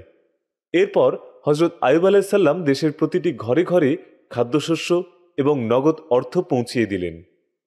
দেশের লোকের আর কষ্ট রইল না। সবার মনে আবার সুখ শান্তি ফিরে এলো। হজরত আয়ুব আলাইসাল্লাম এ মহাবিপদ কেটে উঠে আল্লাহর দরবারে সহস্র সক্রিয়া জ্ঞাপন করলেন। মনের শান্তিতে হজরত আয়ুব আলাইসাল্লাম এবং রহিমা আরও অধিকতরভাবে আল্লাহর ইবাদতে নিমগ্ন হলেন। ইবলিস ভেবেছিল, বিপদাপন্ন সর্বহারা দেশবাসী হজরত আয়ুবকে চারদিক থেকে অন্ন বস্ত্রের তাড়নায় দিশেহারা বিব্রত করে তুলবে। হজরত আয়ুব আলাইসাল্লাম চারদিক অন্ধকার দেখে দিশেহারা হয়ে মুশ্রে পড়ে আল্লাহর প্রতি বিরাগ হয়ে পড়বেন। কিন্তু হজরত আয়ুব আলাইসাল্লাম তার ব্যক্তিগত ধন ভাণ্ডার এবং রাজভাণ্ডার থেকে প্রচুর পরিমাণে অর্থ ও শস্য বিলিয়ে দিয়ে এই মহাবিপদ সামলে নিতে দেখে ইবলিস নিরাশ হয়ে পড়ল। এরপর ইবলিস আরও হিংস্র হয়ে উঠল। মনে মনে বলল, এবার দেখব তার অর্থ, ধন, রত্ন ও শস্যের জোর কত। এবার মহাঝড়ের মহাপ্রলয় সৃষ্টি করে, সমস্ত কিছু ধ্বংস করে, সারা দেশে মহাবিভীষিকা সৃষ্টি করে আইয়ুবের অহংকার চূর্ণ করব। যতদিন পর্যন্ত আইব আলাইসাল্লাম এবং রহিমাকে আল্লাহর পথ থেকে সরাতে না পারব, ততদিন আমার এ কাজ চলতেই থাকবে। মহাপ্লাবনের মহা দুর্যোগে রাজ্যের প্রজাগণ সর্বস্ব হারা হলেও আল্লাহর ইচ্ছায় হজরত আইব আলাইসাল্লাম অতি সহজেই এই মহাবিপদ সামলে ওঠেন। বাচ্চার ভরণ পোষণ সুষ্ঠু ব্যবস্থাপনায় জনগণের মাঝে আবার শান্তি ফিরে আসে। রাজকীয় অর্থ দ্বারা দেশের সমস্ত ক্ষেত খামারে আবার কৃষির ব্যবস্থা করা হয়েছে। পাকা ফসলের সোনালি আভায় ক্ষেত খামার আবারও জলজল করছিল। ভরা ফসলের মাঠ দেখে কৃষকের মন ভরে উঠেছে। কিছুদিনের মধ্যেই তারা পাকা ফসল কেটে ঘরে তুলবে। এ সময় হঠাৎ আকাশের উত্তর পূর্ব সীমান্তে বিদ্যুৎ চমকে ওঠে এবং সহসা একখণ্ড কালপ্রস্তর খণ্ডের ন্যায় শিলাপতন এবং তার সাথে মুহুর্মুহু প্রচণ্ড বর্জ্যের গর্জন এবং বিদ্যুৎ স্ফুরণ সমগ্র দেশব্যাপী মহাবিভীষিকার সৃষ্টি করল। অমানিসার মতো কালো অন্ধকার রাতে ঝড়ের প্রলয় তাণ্ডবে গৃহহারা মানুষ দিশেহারা হয়ে পড়ল। কেউ গৃহের তলে চাপা পড়ে প্রাণত্যাগ করল, কেউ বৃক্ষের তলে পড়ে মৃত্যুবরণ করল। কত লোক যে ক্ষত বিক্ষত আহত হল, কারও হাত ভাঙল, কারও পা ভাঙল, কারও মাথা ফাটল। সমগ্র দেশব্যাপী মর্মান্তিক করুণ আর্তনাতের হাহাকার উঠল। হজরত আইব আলাইসাল্লামের সুদৃঢ় রাজপ্রাসাদও এই মহাঝড়ের তাণ্ডব থেকে রক্ষা পেল না। ঝড়ের তাণ্ডবে কোনো ঘরের ছাদ, কোনো ঘরের দেয়াল প্রাচীর ধসে পড়ল। অন্তঃপুরের বিলাসবহুল কক্ষসমূহ ভেঙে চুরে চূর্ণ বিচূর্ণ হয়ে গেল। সমগ্র দেশের বুকে মহাঝড়ে তাণ্ডব ঘটিয়ে এবার ইবলিস মনে মনে ভাবতে থাকল, নিশ্চয়ই সে আয়ুব আলাহিসাল্লাম ও রহিমাকে জব্দ করতে পেরেছে। এখন সহজেই তাদেরকে বসে আনতে পারবে। সমগ্র দেশের উপর যে মহাবিপদ চাপিয়ে দেওয়া হয়েছে এই মহাবিপদে আয়ুব কিছুতেই ধৈর্য রাখতে পারবে না। বিপদাপন্ন মানুষগণ যখন সাহায্যের জন্য ছুটে আসবে, তখন হজরত আয়ুব ধৈর্য হারিয়ে দিশাহারা হয়ে পড়বে এবং আল্লাহর প্রতি বিরূপ হয়েও পড়বে। এ মহাঝড়ে ধ্বংসলীলাকে আল্লাহর অবিচার ও অন্যায় বলে আল্লাহর সাথে রাগে অভিমানে আল্লাহর ইবাদত মন থেকে মুছে ফেলবে। ইবলিস মনে মনে এসব জল্পনা কল্পনা করে আত্মতুষ্টিতে তৃপ্তি ও আনন্দের হাসি হাসতে থাকে। কিন্তু ইবলিস হজরত আয়ুব এবং রহিমাকে চিনতে পারেনি। কিন্তু তার চিনতেও বেশি দেরি হল না। ইবলিস নিরাশ হয়ে দেখল যে আয়ুব, রহিমাসহ অন্যান্য বেগম ও সন্তান সন্ততিগণকে নিয়ে একটি অর্ধভগ্ন কক্ষে আশ্রয় গ্রহণ করে এবং প্রভুর ইবাদতে নিজ দেহমনকে সঁপে দিচ্ছেন। তখন দেশের বিপদাপন্ন সর্বহারা লোকগণ এসে রাজপুরীর এ অবস্থা দেখে বাদশার সাথে সাক্ষাৎ করা বৃথা ভেবে মনে মনে বাদশার প্রতি অভিশাপ দিতে দিতে চলে যায়। তারা অনেকেই বলতে থাকে, হয়তো বাদশাহ কোনো মারাত্মক অপরাধ করেছেন বলেই বারবার এই দেশে এরূপ বিপদ ঘটছে। তা না হলে এরূপ ঘটবে কেন? অতএব পাপি বাদশার কাছে গিয়ে কোনো লাভ নেই। তাই তারা সবাই যে যার পথে ফিরে যায়। কিন্তু হজরত আইব আলাহিসাল্লামের এতে সুবিধাই হয়। এতদিনকার ঝঞ্ঝাট থেকে মুক্তি পেয়ে তিনি আল্লাহর কাছে প্রার্থনা করে বললেন, হে মাবুদ, দয়াময় প্রভু আপনি আমাকে এত ধন সম্পদ ও রাজ্যাদি দিয়ে আমার মাথার উপর যে বিরাট দায়িত্ব চাপিয়ে দিয়েছিলেন, এতে আপনার ইবাদতে আমি নিজেকে সম্পূর্ণরূপে ন্যস্ত করতে পারিনি। এখন আপনি আমার দায়িত্ব উঠিয়ে নিয়ে বোঝা সহজ করে দিন। এখন আমি মন প্রাণ দিয়ে আপনাকে ডাকতে পারব। হে প্রভু, আমার রাজত্ব, ঐশ্বর্য, যশ, গৌরব কোনো কিছুরই প্রত্যাশা নেই। হে মাবুদ, আপনার কাছে প্রার্থনা করছি যেন বিপদে আপদে সর্বাবস্থায় আপনাকে ডাকার প্রবৃত্তি থাকে। আমাকে এই প্রবৃত্তি দান করুন। এটাই আমার প্রধান সম্পদ। আল্লাহর কাছে হজরত আইব আলাহিসাল্লামের এরূপ প্রার্থনা করতে শুনে এবং রহিমার ইবাদত দৃশ্য দেখে ইবলিস ভীষণ ক্ষুব্ধ এবং হিংস্র হয়ে ওঠে। পাপাত্তা ইবলিস মনে গুণে প্রতিহিংসা পরায়ণ হয়ে প্রতিহিংসার চরিতার্থে আবার নতুন পরিকল্পনার প্রস্তুতি গ্রহণ করে। হজরত আয়ুব আলাইসাল্লাম এবং মহিমার উঁচু মস্তক অবনত করার জন্য এবার ইবলিস সর্বাপেক্ষা মারাত্মক এক নির্মম আঘাত হানার পরিকল্পনা গ্রহণ করে। মনে মনে বলে, এবার তাদের উঁচু মস্তক অবনত করেই ছাড়ব। দেখব আয়ুব ও রহিমার ধৈর্যের ও আল্লাহর প্রেমের সীমা কত দূর। এবার নিশ্চয়ই তাদের দম্ভ চূর্ণ হবে। হজরত আয়ুব আলাহিসাল্লামের জ্যেষ্ঠ পত্নীত্রয়ের গর্ভে সাত পুত্র, তিন কন্যা ভূমিষ্ঠ হয়েছিল। এরপর রহিমাও কতিপয় সন্তান প্রসব করেছিলেন। পাপাত্তা ইবলিস এবার পণ করে অত্যন্ত নিষ্ঠুরভাবে তাদেরকে হত্যা করবে। তাহলেই আয়ুব ও রহিমার ধৈর্য নষ্ট করে আল্লাহর পথ হতে দূরে সরিয়ে নিতে পারবে। এরপর এক রাতে হজরত আয়ুব আলাহিসাল্লাম যে বৃহৎ অর্থভগ্ন কক্ষটিতে পরিবার পরিজন সহ বসবাস করছিলেন, তার এক প্রান্তে হজরত আয়ুব আলাহিসাল্লাম এবং রহিমা আল্লাহর গভীর ধ্যানে নিমগ্ন ছিলেন। রাতের নিদ্রা ত্যাগ করে সারা রাত আল্লাহর ইবাদতে নিমগ্ন থাকেন। তখন কক্ষের অন্য পাশে রহিমা স্বপত্নীত্রয় শায়িতা ছিলেন এবং আরেক পার্শ্বে নিদ্রামগ্ন ছিলেন তাদের পুত্র কন্যাগণ। আল্লাহর অতি প্রিয়বান্দা হজরত আয়ুব আলাহিসাল্লামের অতি আদরের ভালোবাসার হৃদয়ের ধন, নয়নের মণি, নিষ্পাপ, নিষ্কলঙ্ক সন্তানগণ নির্ভয়ে, নিশ্চিন্তে নিদ্রার কোলে আচ্ছন্ন হয়ে আছে। তারা ভাবতেও পারতেন না যে এ নিদ্রাই তাদের শেষ নিদ্রা। এই নিদ্রা থেকে তারা আর কখনোই জেগে উঠবে না। তাদের জনকজননী কল্পনাও করতে পারেনি যে তাদের স্নেহের ধন কলিজার টুকরাদের জীবনের চরম শেষ মুহূর্তটি ঘনিয়ে আসছে। কিন্তু তাই ঘটল। রাত দ্বিপ্রহরে পাপিষ্ট ইবলিসের হিংস্র ছোবলে কক্ষের যেই পাশে পুত্রকন্যাগণ ঘুমিয়েছিল, সেদিকের বিরাট দেয়াল তাদের উপর ধসে পড়ল। দেয়াল চাপা পড়ে মৃত্যুর পূর্বে তারা শুধু হৃদয় বিদারক করুণ আর্তনাদ করে উঠল। এরপর সব নিস্তব্ধ হয়ে যায়। সন্তানগণ সকলেই মৃত্যুর কোলে ঢলে পড়লেন।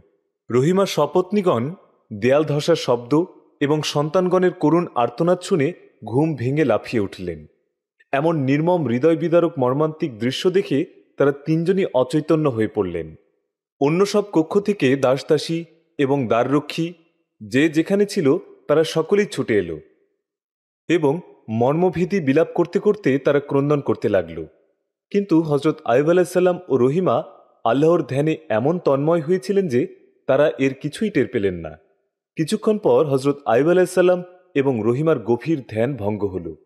কিন্তু তারা তাদের সন্তানদের এমন মর্মান্তিক মৃত্যুর দৃশ্য দর্শন করে এতটুকু বিচলিত না হয়ে কোনো দুঃখ প্রকাশ করলেন না। বরং হজরত আয়ুব আলাহিসাল্লাম বললেন আল্লাহ যাতে সন্তুষ্ট, আমিও তাতে সন্তুষ্ট। আল্লাহ যা করেন, তা মঙ্গলের জন্যই করেন। রহিমা বলেন, আল্লাহর কাছে সুক্রিয়া জ্ঞাপন করছি। এতদিন এ সন্তানদের প্রতিপালনের দায়িত্ব ছিল এ অযোগ্য নারীর উপর। আর এখন সর্বশক্তিমান আল্লাহ স্বয়ং নিজের কুদরতি হাতে সে দায়িত্ব গ্রহণ করেছেন। তা অপেক্ষা আনন্দের কথা আমাদের জন্য আর কি হতে পারে? এ কথা বলেই তিনি আল্লাহর দরবারে দুটি সুক্রিয়া সিজদাহ করলেন। রহিমা প্রিয় মাবুদের কাছে মোনাজাত করে বললেন, হে দয়াময় প্রভু, এতদিন আমি সন্তানদের আদর যত্ন এবং লালন পালনে অনেক সময় ব্যয় করেছি। এখন আমি সে সময় আপনার ইবাদতে এবং প্রাণপ্রতিম স্বামীর সেবায় লাগাতে চাই। প্রভু আপনি আমার সহায় থাকুন। সন্তানদের মায়ায় একটি দিনের জন্য হজরত আয়ব আলাইসাল্লাম এবং রহিমার মনে সামান্যতম বিষাদের ছায়া দেখা গেল না, বরং তাদের উভয়কে যেন পূর্বের চেয়ে অধিক নিশ্চিন্ত এবং প্রফুল্ল দেখা গেল। তারাই এখন পূর্ব অপেক্ষা আরও অধিক নিশ্চিন্তে এবং মুক্ত মনে আল্লাহর ইবাদত করতে লাগলেন। হজরত আয়ুব আলাহিসাল্লামের এতগুলো সন্তানের একসাথে প্রাণবিয়োগে ইবলিস ভেবেছিলেন, স্বামী স্ত্রী দিশাহারা উন্মাদ হয়ে পড়বে। আল্লাহর ধ্যান, ইবাদত, বিসর্জন দিয়ে তারাই আল্লাহর প্রতি অকথ্য গালি বর্ষণ করতে থাকবে। কিন্তু ইবলিস যা ভেবেছিল তার কিছুই হল না। তারা তাদের প্রাণের পুতুলি সন্তানদের হারিয়ে এতটুকু মাত্র দুঃখিত হল না। বরং দ্বিগুণ উৎসাহে তারা আল্লাহর ইবাদতে নিমগ্ন হল। বারবার ব্যর্থ হয়ে ইবলিস ভাবতে লাগল, যে মাটির তৈরি আদমকে আমি ঘৃণা ভরে প্রত্যাখ্যান করেছি, সে মাটির তৈরি মানুষের কাছে শেষ পর্যন্ত পরাজিত হব? মাটির তৈরি আয়ুব ও রহিমার কাছে পরাজিত হলে আমার বড় মুখ থাকবে কোথায়?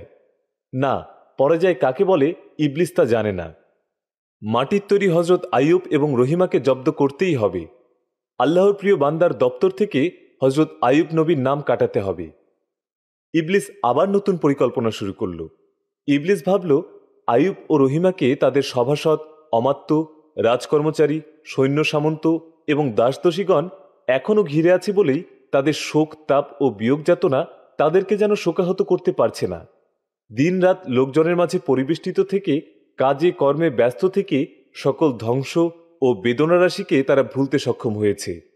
যদি লোকজনকে তাদের কাছ থেকে সরিয়ে দেয়া যায়, তবেই তারা নিঃসঙ্গ হয়ে দিশাহারা হয়ে পড়বে।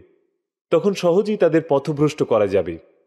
আল্লাহ ইবলিসকে প্রচুর শক্তি দান করেছেন। সে শক্তির বলে ইবলিসের পক্ষে অনেক কিছুই করা সম্ভব। অতএব ইবলিস এবার তার শীর্ষ সহযোগীদেরকে আদেশ করল, তোমরা আয়ুবের লোকজনের কাছে গিয়ে তার থেকে সরিয়ে দেওয়ার চেষ্টায় লেগে যাও। ইবলিসের সহচর এবার আয়ুবের পাত্র, মিত্র, সভাসদ, সৈন্য সামন্ত, রাজকর্মচারী, প্রহরী, দাসদাসীদের মনের ভিতর প্ররোচনায় উত্তক্ত করতে লাগলেন। এখনও তোমরা কিসের আকর্ষণে এখানে সময় নষ্ট করছ? বাচ্চার কাছে তো এখন কোনো অর্থ সম্পদ নেই। তোমরা বুঝতে পারছ না কেন? তোমাদের বাচ্চা নিশ্চয়ই কোনো পাপ করেছেন। তা না হলে বারবার এমন কঠিন বিপদে পড়ে সর্বশান্ত হবে কেন? এমন পাপির কাছ থেকে তোমরা শীঘ্রই দূরে সরে যাও, নতুবা তোমরাও পাপের প্রভাবে ধ্বংস হয়ে যাবে। পাপাত্তা ইবলিসের চক্রান্তে অতি শীঘ্রই সব লোক প্রতারিত হয়ে পড়ল। এতদিন বাদশাহ আয়ুব নবীর যে সমস্ত পারিষদ ও অমাত্যগণ তার একান্ত বিশ্বাসী এবং বাধ্যগত ছিল হজরত আয়ুবের দরবার ও তার সান্নিধ্য ছাড়া যাদের এক মুহূর্ত চলত না, যে সকল রাজকর্মচারী ও সৈন্য সামন্তগণ হজরত আয়ুবের একটি নির্দেশ পালনের জন্য উন্মুখ হয়ে থাকত এবং তার আদেশ মেনে নিজেদেরকে পরম সৌভাগ্যবান মনে করত, যে সমস্ত দাসী চাকরানীগণ রহিমার সান্নিধ্য লাভ করে আদেশ পালন করে জীবন সার্থক ভাবত, তারা সকলেই আজ বাদশাহ আয়ুব নবী এবং রহিমার পরম দুঃসময়ে তাদেরকে ফেলে একে একে বিদায় নিয়ে চলে গেল। যে বাদশার দরবারে কত গুণী, কত জ্ঞানী বিদ্যান পণ্ডিত বিরাজ করে রাজদরবারে শোভাবর্ধন করত, তারা আজ কেউই নেই। লোকে লোকারণ্য রাজদরবার আজ জনশূন্য, খাঁখা করছে। পুত্র, কন্যা, সঙ্গীহারা বাদশাহ আয়ুব আলাহিসাল্লাম এবার সম্পূর্ণরূপে নিঃসঙ্গ হয়ে পড়লেন। সাধারণ লোক হলে এমন অবস্থায় শোকে দুঃখে পাগল হয়ে যেত। এমন অবস্থায় আল্লাহর ইবাদত বন্দিগি করা কারও পক্ষে সম্ভব হতো না। কিন্তু হজরত আয়ুব আলাহিসাল্লাম এবং রহিমাকে আল্লাহতালা অতি অদ্ভুত শক্তি দান করেছেন। ইবলিস বারবার বিপদের উপর বিপদ দিয়ে তাদেরকে সর্বশান্ত, সর্বহারায় পরিণত করেছে। কিন্তু তবু তারা সে পরম প্রভু, প্রিয় মাবুদের দেয়া শক্তির বলে সব বিপদ পাশ করে আল্লাহর ইবাদতে অটল ও অবিচল থাকেন। ধন্য তাদের আল্লাহ প্রেমের আদর্শ। ধন্য তাদের আল্লাহর প্রতি আত্মসমর্পণের অদ্বিতীয় নিদর্শন। কিন্তু ইবলিস ব্যর্থ হয়ে আবারও নতুন পরিকল্পনা গ্রহণ করল। যেমন করেই হোক হজরত আয়ুব আলাইসাল্লাম ও রহিমাকে পরাজিত করতেই হবে। বাচ্চা হজরত আয়ুব আলাইসাল্লামের রাজপ্রাসাদ জনশূন্য করেও ইবলিস যখন সফল হতে পারল না, তখন ইবলিস আবার নতুন পরিকল্পনা গ্রহণ করল। এবার পাপাত্তা ইবলিস আয়ুব আলাইসাল্লামের চার বেগমের মনে প্ররোচনা দিতে আরম্ভ করল। ইবলিস প্ররোচনা দিয়ে তিনজন বেগমকে প্ররোচিত করে ফেলল। কিন্তু সারা বিশ্বের বরণীয় পতিপ্রাণ রমণী রহিমার অন্তর টলাতে সমর্থ হল না। ইবলিসের প্ররোচনায় স্বামীকে পরিত্যাগ করা তো দূরের কথা, এক মুহূর্তের জন্য স্বামীর চোখের অন্তরাল হবার কল্পনাও রহিমা কখনো করতে পারেনি। স্বামীর এ দুঃখের দিনে নিঃসঙ্গ স্বামীর তিনিই এখন একমাত্র সঙ্গিনী, একমাত্র সহায় সম্বল, সবকিছু। দিন রাত সদা সর্বদা এখন তিনি স্বামীর পাশেই অবস্থান করেন। স্বামীর যখন যা দরকার হয় তিনিই তার ব্যবস্থা করে দেন। স্বামী যখন আল্লাহর ইবাদতে নিমগ্ন থাকেন, তিনি তখন ধ্যানমগ্ন স্বামীর পাশে বসে এই কামনায় উন্মুখ হয়ে থাকেন, কখন স্বামী কিসের দরকার হবে? কখন কি জন্য আদেশ করবেন? স্বামীর সেবা করে, স্বামীর আদেশ পালন করে তিনি পরম তৃপ্তি অর্জন করে নিজের জীবন সার্থক করবেন। একদিন হজরত আয়ুব আলাইসাল্লাম আল্লাহর ধ্যানে নিমগ্ন হয়ে আছেন আর তার পাশে বসে আছেন পতিপ্রাণা রহিমা। বহু সময় অতিবাহিত হয়ে গেল স্বামী পরম প্রভুর ধ্যান নিমগ্ন হয়ে আছেন আর প্রতিপ্রাণা পত্নী ধ্যানমগ্ন স্বামীর পানে তাকিয়ে তন্ময় হয়ে আছেন। হজরত আইব আলাইসাল্লাম যখন এমনইভাবে ধ্যানমগ্ন হয়েছিলেন, ঠিক এমনই সময়ে হজরত আইব আলাইসাল্লামের জ্যেষ্ঠ পত্রিত্রয় সেখানে উপস্থিত হয়ে বললেন, প্রিয় স্বামী, আমরা অনেক ভেবে চিনতে আপনার কাছে একটা কথা বলতে এসেছি। শুনুন, বর্তমানে আপনার যে আর্থিক সংকট দেখা দিয়েছে, তাতে আমাদের ভরণ পোষণ এবং রক্ষণাবেক্ষণ আপনার পক্ষে একেবারেই অসম্ভব। এ সময় আমাদেরও আর আপনার মাথার উপরও বোঝা হয়ে থাকা উচিত নয়। আমাদের পিত্রালয়ে ধন সম্পদের অভাব নেই, অতএব আপনি কিছু মনে করবেন না। আমরা এখন আপন আপন পিত্রালয় গমন করছি। আপনি আমাদেরকে বিদায় দিন। বেগমগণের প্রস্তাব শুনে হজরত আইব আলাইসাল্লাম স্নিগ্ধ দৃষ্টিতে তাদের পানে তাকিয়ে রইলেন। বললেন, তোমরা ঠিকই বলেছ। আমরা এই অবস্থায় তোমাদের প্রতি আমার দায়িত্বসমূহ কিছুই পালন করতে পারছি না।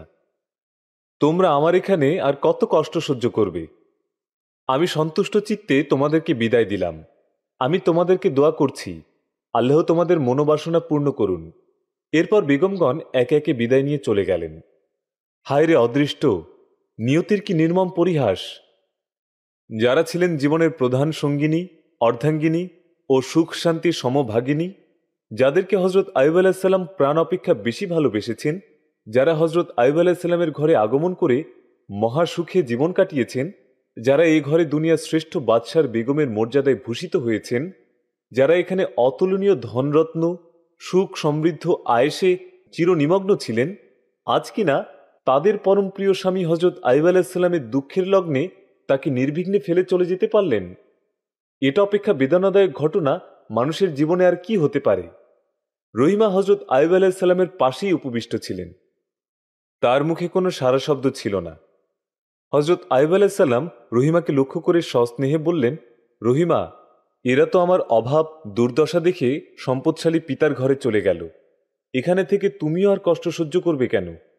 তোমার পিতার ধন ঐশ্বর্যও তো কম নয়। তাই তোমাকেও বলছি, তুমিও তোমার পিতৃগৃহে গমন করো। রহিমা স্বামীর মুখে এই কথা শুনে কাঁদতে কাঁদতে বললেন, প্রিয়তম স্বামী, এ আপনি কি কথা শোনালেন? আপনার এমন বিপদের দিনে আপনাকে একা ফেলে আমি কোথায় গমন করব? আপনার দু চোখের আড়ালে গিয়ে মুহূর্তকালও কোথাও থাকতে পারব না। আমার সব তো আপনার পবিত্র চরণতলে সমর্পণ করেছি। আপনি তো আমার সকল আশা, ভরসা, সুখ, শান্তি সব কিছু আপনাকে ছাড়া এক মুহূর্ত বাঁচতে পারব না। আপনাকে ছাড়া সুখ, সম্পদ আরাম, ঐশ্বর্য সবই আমার জন্য বৃথা। সুখ সম্পদ, ঐশ্বর্য আরামায়েশ সব গেলেও আমি আপনাকে হারাতে চাই না। মন প্রাণ ভরে আমি যদি আপনার খিদমত করতে পারি, তাহলে আমার মতো সুখী আর কে আছে? প্রিয়তম স্বামী, আমি যদি আপনার কাছে থেকে ভীষণ দুঃখ ও অন্য বস্ত্র, কষ্ট ভাগ করি, তবু তা আমার জন্য জান্নাতের নিয়ামত।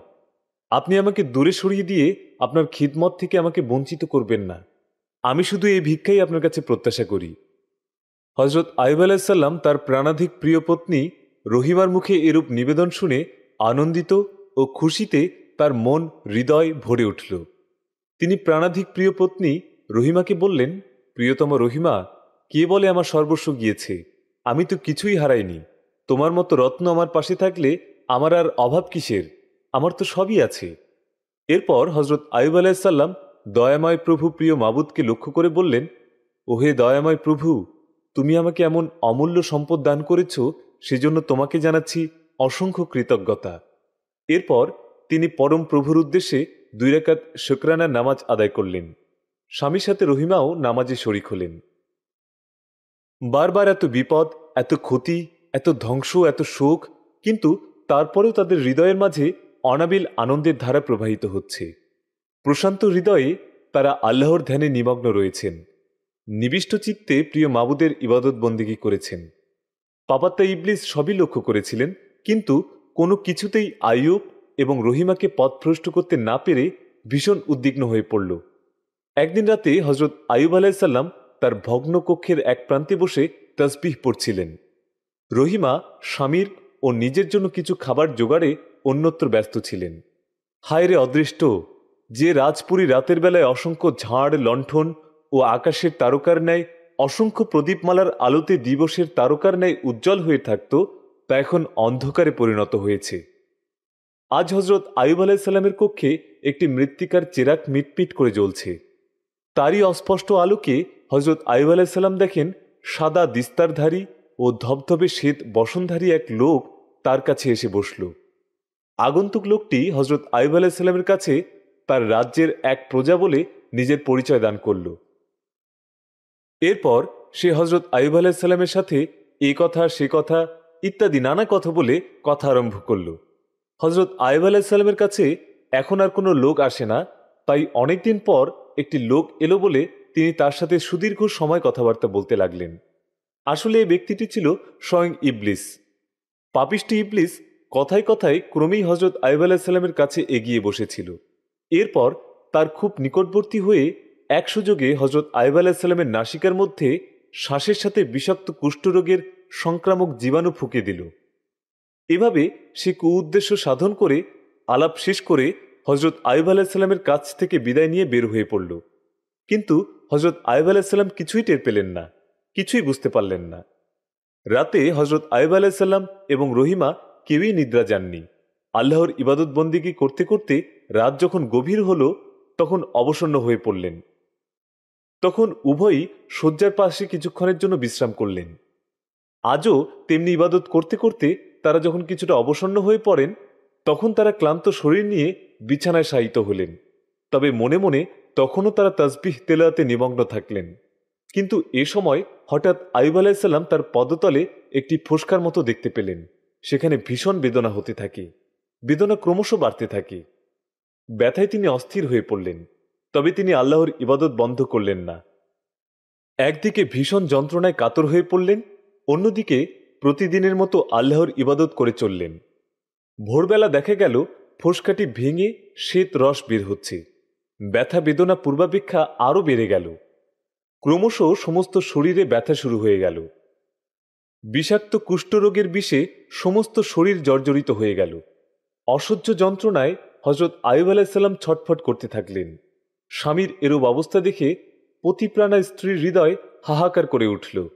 স্বামীর রোগ মুক্তির জন্য তিনি আল্লাহর দরবারে দুই হাত তুলে বারবার মোনাজাত করতে লাগলেন, কিন্তু কিছুতেই কিছু হল না।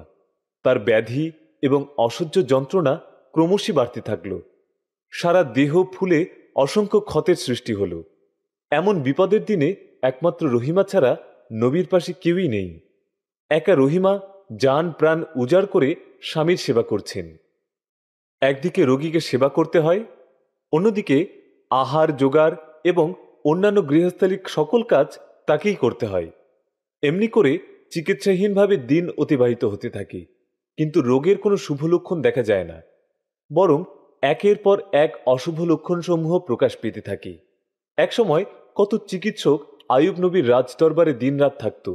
বাচ্চার জন্য একজন চিকিৎসক ডাকলে শত শত চিকিৎসক এসে উপস্থিত হতো। যারা বাচ্চা আয়ুব নবীর রোগ চিকিৎসা করতে পেরে একদিন নিজেদেরকে ধন্য মনে করত। কিন্তু আজ আর তাদের কাউকে দেখা যাচ্ছে না। এখন আর কেউ এই পথে আসে না। হায় রে নির্মম পরিহাস। স্বামীর কষ্ট দেখে দুঃখে, যন্ত্রণায় রহিমার বুক ভেঙে যেতে চায়। কিন্তু তিনি কি করবেন? তাই স্বামীর চিকিৎসার ভার আল্লাহর কুদরতি হাতে সোপর্ত করে তিনি মনে প্রাণে দিবানিশি স্বামীর সেবা করতে থাকেন। স্বামীর রোগ যন্ত্রণা যতই বৃদ্ধি পেতে থাকে, রহিমার সেবা পরিচর্যাও ততই বৃদ্ধি পেতে লাগল। তিনি নিজের আরাম নিদ্রা সম্পূর্ণরূপে বিসর্জন দিয়ে রাত জেগে স্বামীর পাশে বসে স্বামীকে সেবা করেন। দিনের পর দিন এরূপ সীমাহীন কঠোর খাটনি, রাতের পর রাত অনিদ্রা, তার উপর অর্থাহার, অনাহারে রহিমার শরীর একেবারেই দুর্বল হয়ে পড়ে। কিন্তু দেহ দুর্বল হলেও দেহে শক্তি না থাকলেও অফুরন্ত মনের শক্তির বলে দিবানিশি সারাক্ষণ রুগ্ন স্বামীর সেবা করতে থাকেন। আর হজরত আইব আলাইসাল্লাম এমন মারাত্মক অসহ্যকর রোগ যাতনায় ছটপট করতে থাকলেও আল্লাহর ইবাদতে বিন্দু পরিমাণ ত্রুটি করলেন না। এরূপ অসহ্যকর রোগ যন্ত্রণার ভিতরেও আল্লাহর ইবাদতে আরও বেশি মনোযোগী হলেন। নবী তার দেহের এ মহাসংক্রামক ব্যাধির বিনিময়ে আল্লাহর দরবারে মুনাজাত করে বললেন, ইয়া মাবুদ, হে দয়াময় প্রভু আপনি যে আমাকে কুষ্ঠরোগে আক্রান্ত করেছেন, এটা আমার উপরে আপনার এক অমূল্য নিয়ামত। এছাড়া আর কিছুই নয়। যেদিন হতে আমি এ রোগে আক্রান্ত হয়েছি, সেদিন থেকে আপনার প্রতি নির্ভরতা এবং শ্রদ্ধার সীমা আরও বেড়ে গিয়েছে। যতই দিন যেতে থাকে হজরত আইব আলাহিসাল্লামের রোগ ততই বৃদ্ধি পেতে থাকে। ক্রমে ক্রমে তার দেহের অঙ্গ প্রত্যঙ্গের মাংসপিণ্ডে পচন ধরে। সমস্ত শরীরের ক্ষতস্থান থেকে পুঁচ এবং দূষিত রক্ত অবিরল ধারায় ঝরে পড়তে থাকে। তা থেকে তীব্র দুর্গন্ধ ছড়াতে থাকে। সে দুর্গন্ধে কোনো মানুষ তো এ পথে আসা দূরের কথা আকাশের পাখিরাও দূরে চলে যায়। কিন্তু স্বামীর দেহের এই দুর্গন্ধ রহিমার কাছে কোনো দুর্গন্ধ বলে মনে হয় না। বরং তিনি এটা অনুপম পবিত্র খুশবু বলে মনে করেন।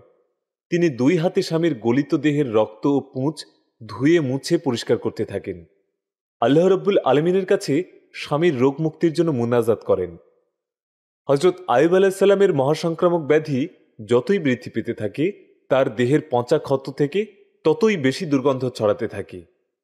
দুর্গন্ধ এমনইভাবে বাতাসে ছড়িয়ে পড়ল যে, এ ভীষণ দুর্গন্ধে মানুষ অতিষ্ঠ ও বিরক্ত হয়ে উঠল। মানুষ যখন অতিষ্ঠ ও বিরক্ত হয়ে উঠল, ঠিক তখনই ইবলিস শয়তান মানুষের মনে কুমন্ত্রণা দিতে থাকল। ইবলিস বলল, আয়ুব নিশ্চয়ই কোনো কঠিন গুনাহে লিপ্ত আছেন, নতুবা তার উপর বিপদের উপর বিপদ এসে তাকে এরূপ রিক্ত নিঃস্ব করে ফেলত না, কিংবা দুনিয়া সর্বাপেক্ষা ঘৃণিত এবং মারাত্মক ব্যাধিও তার হতো না। তার প্রতি আল্লাহর আর কোনো রহমতি নেই। নতুবা এরূপ হবে কেন? তার দেহের ক্ষত এখন পচে গলে এর দুর্গন্ধে আলো বাতাস বিষাক্ত করে ফেলেছে। এর বিষাক্ত সংক্রামক জীবাণু এখন বাতাসের সাথে উড়ে বেড়াচ্ছে। এ সংক্রামক রোগের দুষ্ট জীবাণু সকলের দেহে ঢুকে দেশময় কুষ্ঠরোগের সৃষ্টি করে ফেলবে। একজনের জন্য সারা দেশের মানুষ বিপদে পড়বে। অতএব বিপদ ঘটার পূর্বেই একে এদেশ থেকে তাড়িয়ে দাও। সারা দেশের লোকগণ অনেক দিন হতে হজরত আয়ব আলাহিসাল্লামের প্রতি বীতশ্রদ্ধ হয়ে পড়েছিল।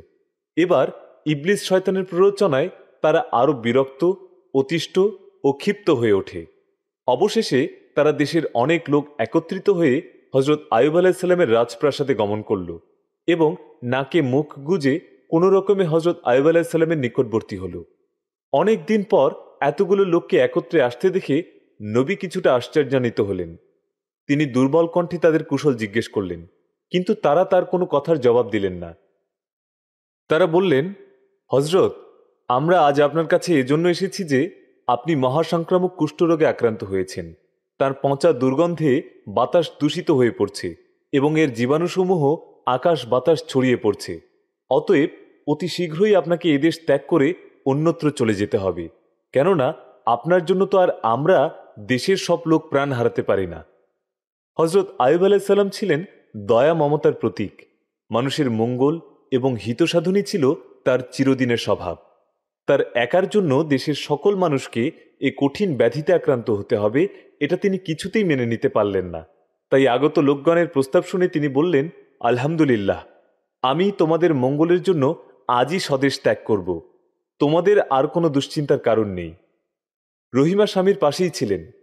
স্বদেশবাসীদের এমন রূঢ় প্রস্তাবে তিনি চমকে উঠে লোকগণকে লক্ষ্য করে বললেন, ভাইগণ, তোমরা তো দেখেছ, উঠে দাঁড়াবার মতো শক্তিও তার নেই। কোনো রকমে এতটুকু আঘাত লাগলেই ব্যথায় তার প্রাণ বের হয়ে যাবে। এমন রোগীকে নিয়ে আমি নিঃসহায় অবলা নারী অজানা, অচেনা বিদেশের পথে কিরূপে গমন করব? তোমাদের মনে কি এতটুকুও দয়ামায়া নেই? এ বাচ্চার নিয়ামতকে তোমরা কে না ভোগ করেছ?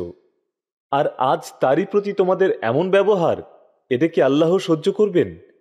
যেখানে আজ তোমাদের উচিত চিকিৎসক ডেকে চিকিৎসা করানো, সেখানে তোমরা চিকিৎসা করানো দূরে থাক স্বদেশ থেকেও তাড়িয়ে দিচ্ছ। কিন্তু রহিমার কথায় লোকগণের মনে এতটুকু দয়ামায়া হল না। তারা এখনই স্বদেশ ত্যাগ করতে বলল। রহিমা অনুনয় করে বললেন, ভাইগণ, তোমরা যদি এখানে আর নাই থাকতে দাও, তবু অন্তত কিছুটা দিন সময় দাও। এরপর নবীকে নিয়ে দেশ ত্যাগ করে চলে যাব। রহিমার কথা শুনে কেউ কেউ বলল, একদিনও সময় দেয়া যাবে না। কেউ বলল, আরও এ রোগীকে জীবিত দেখতে চাও? তোমার আশা তো কম নয়?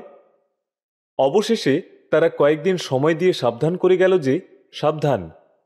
কয়েকদিনের পর এক মুহূর্তের জন্য আর এখানে যেন না থাকো। মানুষের আশাকাঙ্ক্ষার শেষ নেই। আশার মাঝেই মানুষ বেঁচে থাকে। রহিমাও আশা করেছিলেন, স্বামীর অসুখ ভালো দিকেও যেতে পারে। কিন্তু তার সে আশা সফল হল না। রোগ আরোগ্য তো দূরের কথা, ক্রমশই রোগ বাড়তে থাকল। অসহ্যকর যন্ত্রণায় অস্থির হয়ে তিনি শুধু ছটফট করতে থাকেন, তীব্র যন্ত্রণায়। বারবার চিৎকার করে ওঠেন। স্বামীর এমন অবস্থা দেখে রহিমা দিশাহারা অস্থির হয়ে পড়লেন। কি করবেন কিছুই বুঝতে পারলেন না।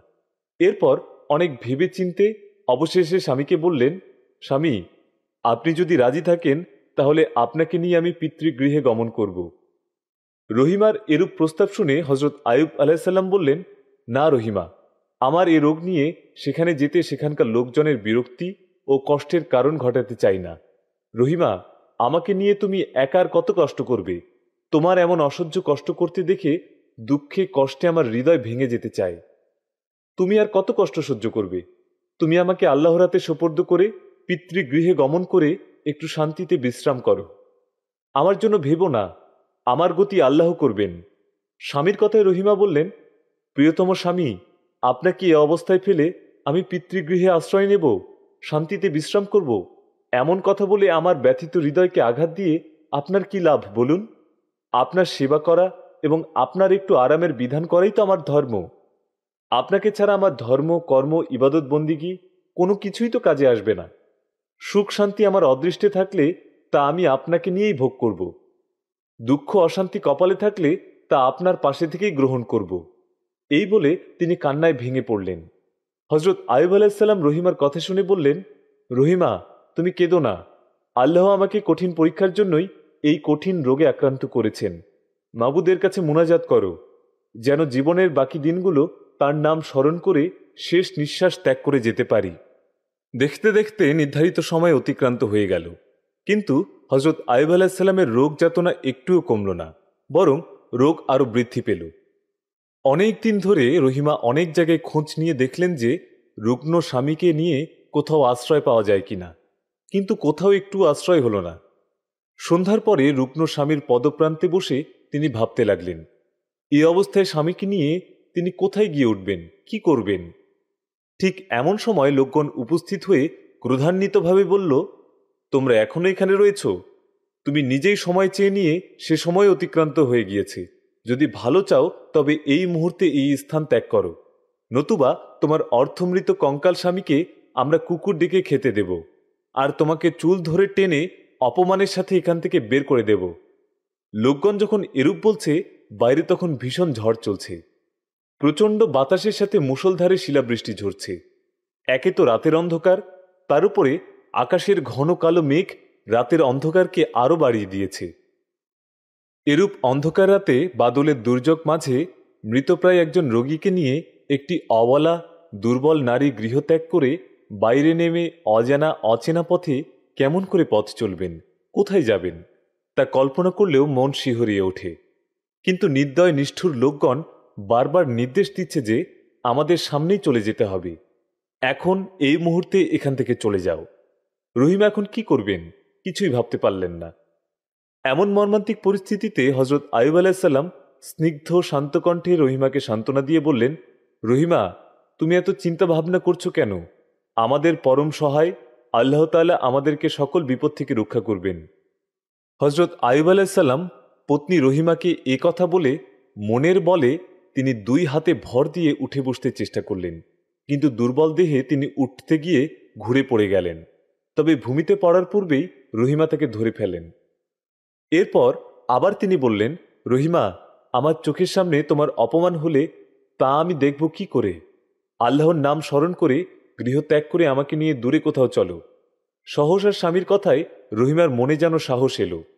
অর্থভুক্ত, অভুক্ত, শ্রান্ত, দুর্বল দেহে শক্তির সঞ্চার যেন হল।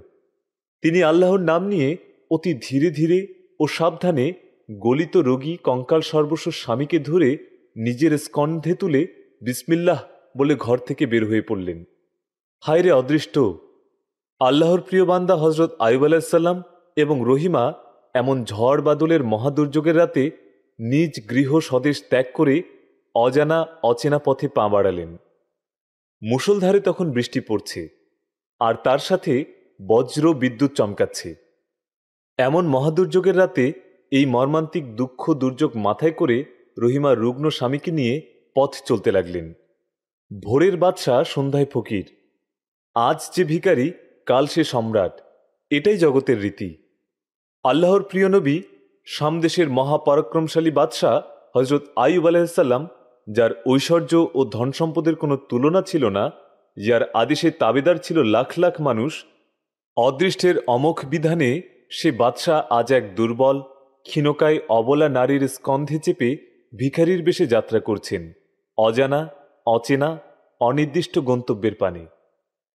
মহাদুর্যোগময় দুঃখের রজনী মাঝে প্রচণ্ড ঝড় বাদলের ভিতর দিয়ে ঘন কালো অন্ধকার পথে রহিমা স্বামীকে নিয়ে সামনের দিকে চলতে লাগলেন।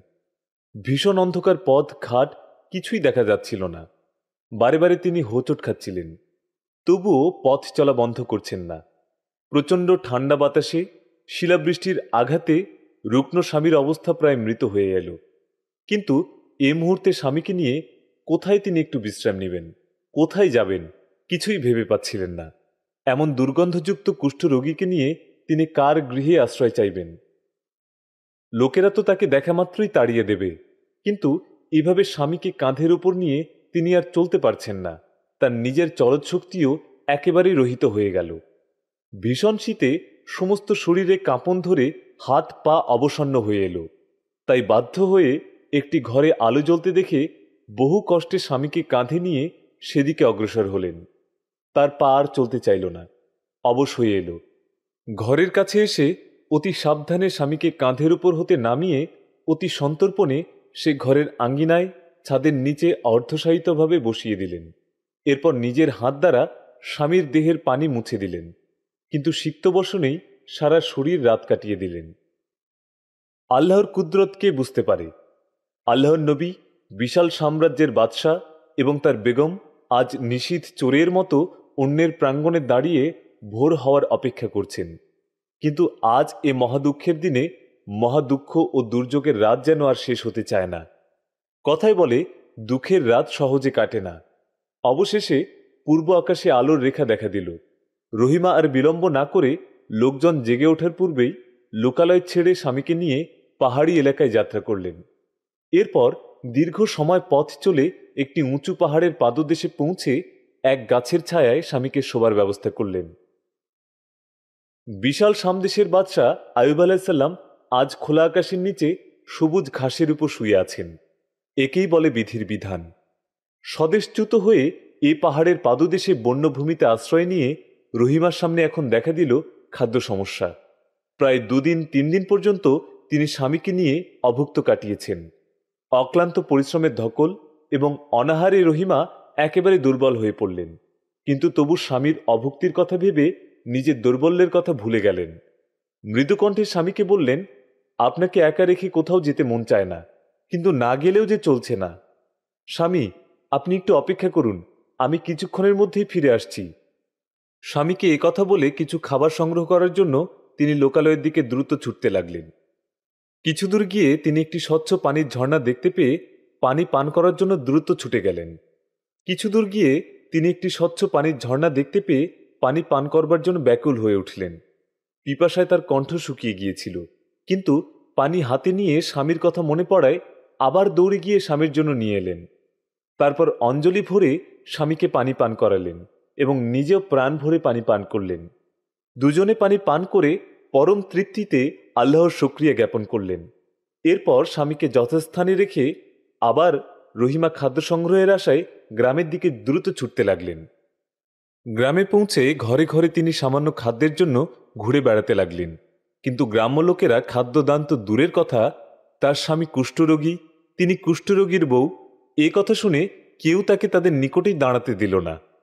এক ঘর থেকে অন্য ঘরে এমনি করে সারাদিন এক এক করে সাতটি গ্রাম ঘুরে দুজন মানুষের একবেলার খাবারও জোগাড় করতে পারলেন না।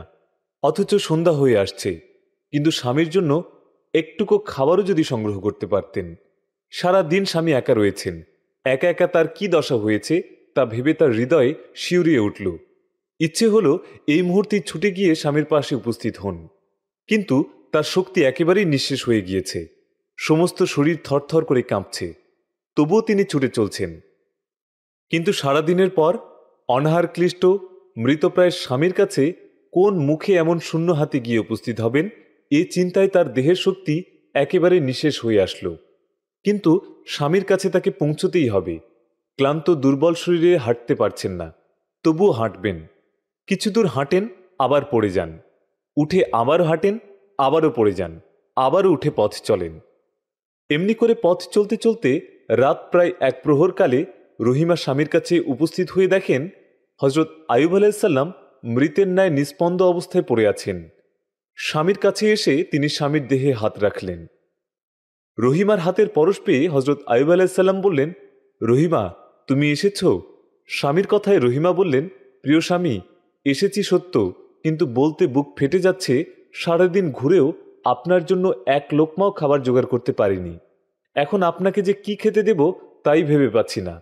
স্বামী, যে নারী তার স্বামীর এমন দুঃসময়ে তাকে এতটুকু সাহায্য করতে পারে না, যাকে স্বামীর এরূপ অন্য কষ্ট চোখে সহ্য করতে হয়, তার বেঁচে থেকে কি লাভ? এ কথা বলেই রহিমা কেঁদে ফেললেন। তখন হজরত আয়ুব আলাহিসাল্লাম সান্ত্বনা দিয়ে বললেন, রহিমা, তুমি অবুজ বালিকার মতো কেঁদো না। এ দুঃখ কষ্ট যন্ত্রণা তো প্রিয় মাবুদের রহমত। এর ফল যে কত উত্তম, এর পুরস্কার যে কত মূল্যবান, তা তো তোমার না বোঝার কথা নয়। এ দুঃখ, কষ্ট ও বিপদে যদি আমরা ধৈর্য ধারণ করে প্রিয় মাবুদকে স্মরণ করতে পারি, তবেই আমাদের জীবন সার্থক হবে। স্বামীর বাক্য শুনে রহিমার হৃদয় শান্ত হল। তিনি কাঁদা বন্ধ করে স্বামীর পদপ্রান্তে বসে মনে মনে আল্লাহর কাছে প্রার্থনা করেন, ইয়া মাবুদ, তুমি তোমার প্রিয় বান্দা, আমার স্বামীকে শ্রেষ্ঠ পুরস্কার দান করো। খোলা আকাশের নিচে বন্যভূমিতে স্বামী স্ত্রীর আরও একটি দুঃখের রাত কেটে গেল। এবার রহিমা ঠিক করলেন এখানে আর নয়, এখানকার লোকজন বড়ই নির্দয়, নিষ্ঠুর। ভোরবেলায় স্বামীকে নিয়ে এখান থেকে তিনি দূরে কোথাও চলে যাবেন। রাত শেষে ভোর হলে রহিমা স্বামীকে নিয়ে সে পানির ঝর্ণার কাছে এসে তারপর আজলা ভরে পানিতে হাত মুখ ধুয়ে স্বামী, স্ত্রী কিছু পানি পান করলেন। এরপর স্বামীকে কাঁধে তুলে আবার অনিশ্চিত, অজানা পথে যাত্রা করলেন।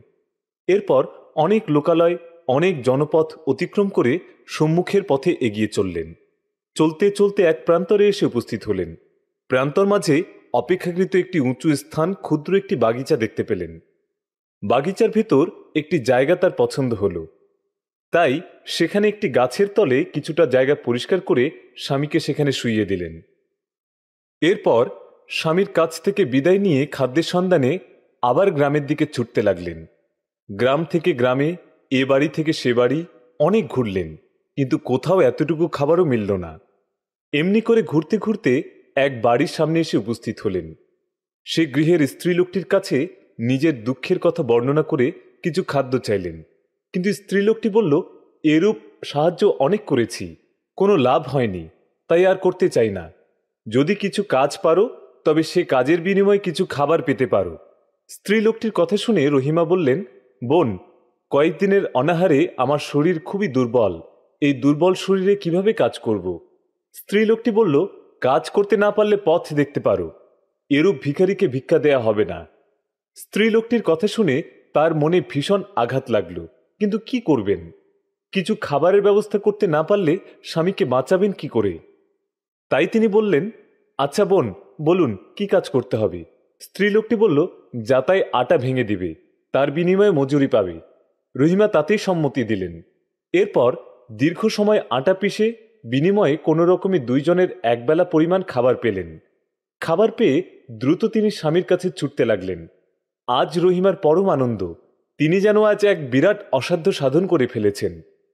অনাহারী স্বামীকে আজ খাবার খাওয়াতে পারবেন, এটা আজ তার কাছে বড়ই আনন্দের কথা। দ্রুত পায়ে হেঁটে স্বামীর কাছে এসে পৌঁছেই তিনি স্বামীকে খেতে দিলেন। আজ পরের ঘরে আটা পিষে মজুরির বিনিময়ে সামান্য আহার খাবার এনে তাই স্বামীকে নিয়ে পরম তৃপ্তিতে আহার করলেন। এরপর স্বামী স্ত্রী উভয়ই সারা রাত আল্লাহর ইবাদতে নিমগ্ন হয়ে রইলেন। সারা রাত আল্লাহর ইবাদতে মগ্ন থেকে ভোরবেলা আবার স্বামীর কাছ থেকে বিদায় নিয়ে গ্রামের দিকে রওনা করলেন। মনে মনে ঠিক করলেন, এখন আর কারও কাছে ভিক্ষা খাবার না চেয়ে গৃহিণীদের কিছু কাজ করে দিয়ে বিনিময়ে যে মজুরি পাব তা দ্বারা জীবন চালাবো। গ্রামে এসে কিছু না কিছু কাজ জুটে গেল। এরপর রহিমা প্রতিদিন গ্রামে বাড়ি বাড়ি ঘুরে একটা না একটা কাজ জোগাড় করে নিতেন। তবে যে কাজ যত কষ্টসাধ্যই হোক না কেন, তিনি তার সমাধা করে তার বিনিময়ে মজুরি পেয়ে কোনো রকমের স্বামীর এবং নিজের জীবন চালাতে লাগলেন। একদিন হজরত আইব আলাইসাল্লাম বললেন, রহিমা, আল্লাহ আমাদের প্রতি বড়ই মেহেরবান। দুনিয়ার সব ঝামেলা থেকে মুক্তি দিয়ে এই নির্জন নীরব বনভূমিতে পৌঁছিয়ে দিয়েছেন। যাতে আমরা নির্ঝঞ্ঝাটে তার ইবাদত করতে পারি। কিন্তু দুঃখের বিষয় এটাই যে, দুনিয়ার নিয়ম, নারীগণ হয় পুরুষের প্রতি নির্ভরশীল। কিন্তু আমাদের বেলায় হয়েছে এর বিপরীত। স্বামীর কথা শুনে রহিমা বললেন, প্রিয়তম স্বামী, আপনি এ কথা বলে আমার ব্যথিত হৃদয়কে আর ব্যথা দিবেন না। দীর্ঘ পঁচিশ বছর আপনি আমাকে সুখ, শান্তি, ঐশ্বর্য, বিভিন্ন আরামায়েসে বিশ্বের সর্বশ্রেষ্ঠা নারীর সুখে সুখী রেখেছিলেন। আজ আপনার এই মহাদুঃখের দুর্দিনে আপনার পাশে থেকে আপনার সামান্যতম খিদমত করে আমার জীবনকে ধন্য এবং সার্থক করতে চাই। স্বদেশ ছেড়ে এ নির্জন প্রান্তরে এসেও এক মুহূর্তের জন্য স্বামী স্ত্রী আল্লাহর নামকে ভুললেন না। দিবানিশি তারা আল্লাহর নাম স্মরণ করলেন। এ মহাব্যাধির তীব্র যাতনার মাঝেও হজরত আয়ুব আলাইসাল্লাম সদা সর্বদা আল্লাহর ইবাদতে নিমগ্ন থাকলেন। আর রহিমা সারাদিন গ্রামে গিয়ে এ বাড়িতে, সে বাড়িতে কাজ করে ভরণ পোষণের ব্যবস্থা করেন। আর সারা রাত ধরে স্বামীর খিদমত এবং আল্লাহর ইবাদতে নিমগ্ন থাকেন। এটা দেখে ইবলিসের মনে আগুন জ্বলে উঠল। যেমন করেই হোক, এদেরকে জব্দ করতেই হবে। এ পণ করে ইবলিস শয়তান এক বৃদ্ধার বেশ ধরে গ্রামের ঘরে ঘরে গিয়ে জানিয়ে দিল, যে স্ত্রীলোকটি তোমাদের কাজ করছে, তার স্বামী মহাসংক্রামক ব্যাধি, কুষ্ঠরোগে আক্রান্ত। তার সমস্ত শরীর পচে গিয়েছে। এবং তা থেকে ভীষণ দুর্গন্ধ ছড়াচ্ছে। স্ত্রীলোকটি তার যে হাত দিয়ে তার কুষ্ঠরোগী স্বামীর গলিত দেহ ধরছে, আবার সে হাত দিয়ে তোমাদের কাজ করছে। কুষ্ঠরোগের মতো এমন সংক্রামক ছোঁয়াচে ব্যাধি আর নেই। অতএব তোমাদের যদি জীবনের মায়া থেকে থাকে, তবে সে মহিলার দ্বারা আর কাজ করাবে না। এর পরদিন ভোরে রহিমা যখন গ্রামে কাজ করতে গেলেন, তখন সকল গৃহিণী তাকে তার স্বামীর রোগের কথা জিজ্ঞাসা করলেন। তিনি গৃহিণীদের কাছে অকপটে সত্য কথা খুলে বললেন। তার কাছে তার স্বামীর রোগের কথা শুনে তারা তাকে ভীষণ তিরস্কার করলেন। তারা তার দ্বারা আর কোনো কাজ করাবেন না বলে তাড়িয়ে দিলেন। গ্রামের কোনো ঘরেই আর তার কোনো কাজ মিলল না। সকল ঘর থেকেই তাকে দূর দূর করে তাড়িয়ে দিল। গ্রাম থেকে শূন্য হাতে ফিরে এসে শুধু পানি পান করে স্বামী স্ত্রী রাত কাটিয়ে দিলেন। ক্লান্ত দুর্বল শরীরে আল্লাহর নাম স্মরণ করতে করতেই রাত ভোর হয়ে গেল। ভোরবেলা রহিমা বসে বসে ভাবছিলেন, এখন কি করবেন? মনে মনে ভাবলেন, আজ দূরের কোনো গ্রামে যাবেন। কিন্তু এমন সময় কয়েকজন লোক এসে বলল, এমন ছোঁয়াচে কুষ্ঠব্যাধি নিয়ে তোমরা এখানে আলো বাতাসকে বিষাক্ত করে গ্রামবাসীকে বিপদে ফেলতে চাও? এখানে আর তোমরা থাকতে পারবে না। এখনই, এই মুহূর্তেই তোমরা এখান থেকে দূরে চলে যাও। গ্রামের ধারের কাছেও যেন তোমাদের কখনো দেখা না যায়। আবার তারা নতুন বিপদে পড়লেন। কিন্তু কি করবেন? তাই আল্লাহর উপর ভরসা করে রহিমা আবার স্বামীকে স্কন্ধে তুলে নিরুদ্দেশের পানে চললেন। এরপর অজানা, অচেনা পথে চলতে চলতে অবশেষে একটি পার্বত্য অঞ্চলে এসে পৌঁছলেন। দুই দিকে প্রসারিত সুদীর্ঘ পাহাড়, পাহাড়ের পাদদেশে ঘন ঘোর অরণ্যভূমি এরই মধ্যে একটু খোলা ও পরিষ্কার জায়গা দেখে সেখানেই থাকবেন বলে ঠিক করলেন। এরপর বৃক্ষ, শাখা, পত্র দ্বারা একটি ঘর তৈরি করে তার নিচে স্বামীকে রাখার ব্যবস্থা করলেন। কিন্তু এই পার্বত্য অঞ্চলে থাকবার ব্যবস্থা হলেও খাদ্যের সন্ধানে গ্রামে যেতেই হবে। পাহাড়ের দুই পাশে অনতিদূরে লোকালয় ও বসতি এলাকা। স্বামীর কাছে বিদায় নিয়ে রহিমা আবার লোকালয়ের দিকে চললেন। আল্লাহর কুদরত বোঝার সাধ্য কারণেই আজ যে অগাধ ধনরত্নের অধিকারী, কাল সে নিঃসহায় পথের কাঙ্গাল। আজ যে বাদশাহ, কাল সে ভিকারী ধৈর্যের প্রতিচ্ছবি হজরত আইব আলাইসাল্লামের অবস্থাও তাই হয়েছে। একদিন তিনি ছিলেন বিপুল ঐশ্বর্যের অধিকারী আর আজ তিনি পথের ভিকারী অর্থাহারে, অনাহারে, মহাব্যাধির তীব্র যন্ত্রণায় জর্জরিত হজরত আয়ব আলাইসাল্লামের জীবন আজ অবর্ণনীয় দুঃখের সাগরে নিমজ্জিত। এতদিন হজরত আয়ব আলাইসাল্লামের দেহের ক্ষত পৌঁছে তাতে পুঁজ ঝরত ঠিকই, কিন্তু এবার তার দেহ থেকে গোস্তও খসে পড়তে আরম্ভ করল। প্রত্যেকটি ক্ষতে পোকা জন্ম নিল। স্বামীর দেহের রক্ত ও ধুয়ে মুছে সাফ করতে বসে হঠাৎ ক্ষতস্থানগুলোতে পোকা দেখে তিনি আতঙ্কিত হয়ে উঠলেন। স্বামীর দেহে পোকা হতে দেখে তিনি যেন একেবারেই ভেঙে পড়লেন। তিনি ভাবতে লাগলেন, হায় রে, এ পোকার তীব্র জ্বালাতন, কি করে তার স্বামী এসব সইতে পারবেন? তিনি তখন দুই হাতে স্বামীর দেহের ক্ষত হতে পোকা বাঁচতে লাগলেন, কিন্তু পোকা যত বেছে কমান, পোকা ততই বৃদ্ধি পেতে থাকে। অসংখ্য পোকার কামড়ে যন্ত্রণায় অস্থির হয়ে হজরত আয়ব আলাইসাল্লামের হাত পা আছড়িয়ে সদ্য জবয়কৃত জন্তুর ন্যায় ছটফট করতে লাগলেন। স্বামীর এমন নিদারুণ কষ্ট রহিমা সহ্য করতে পারলেন না।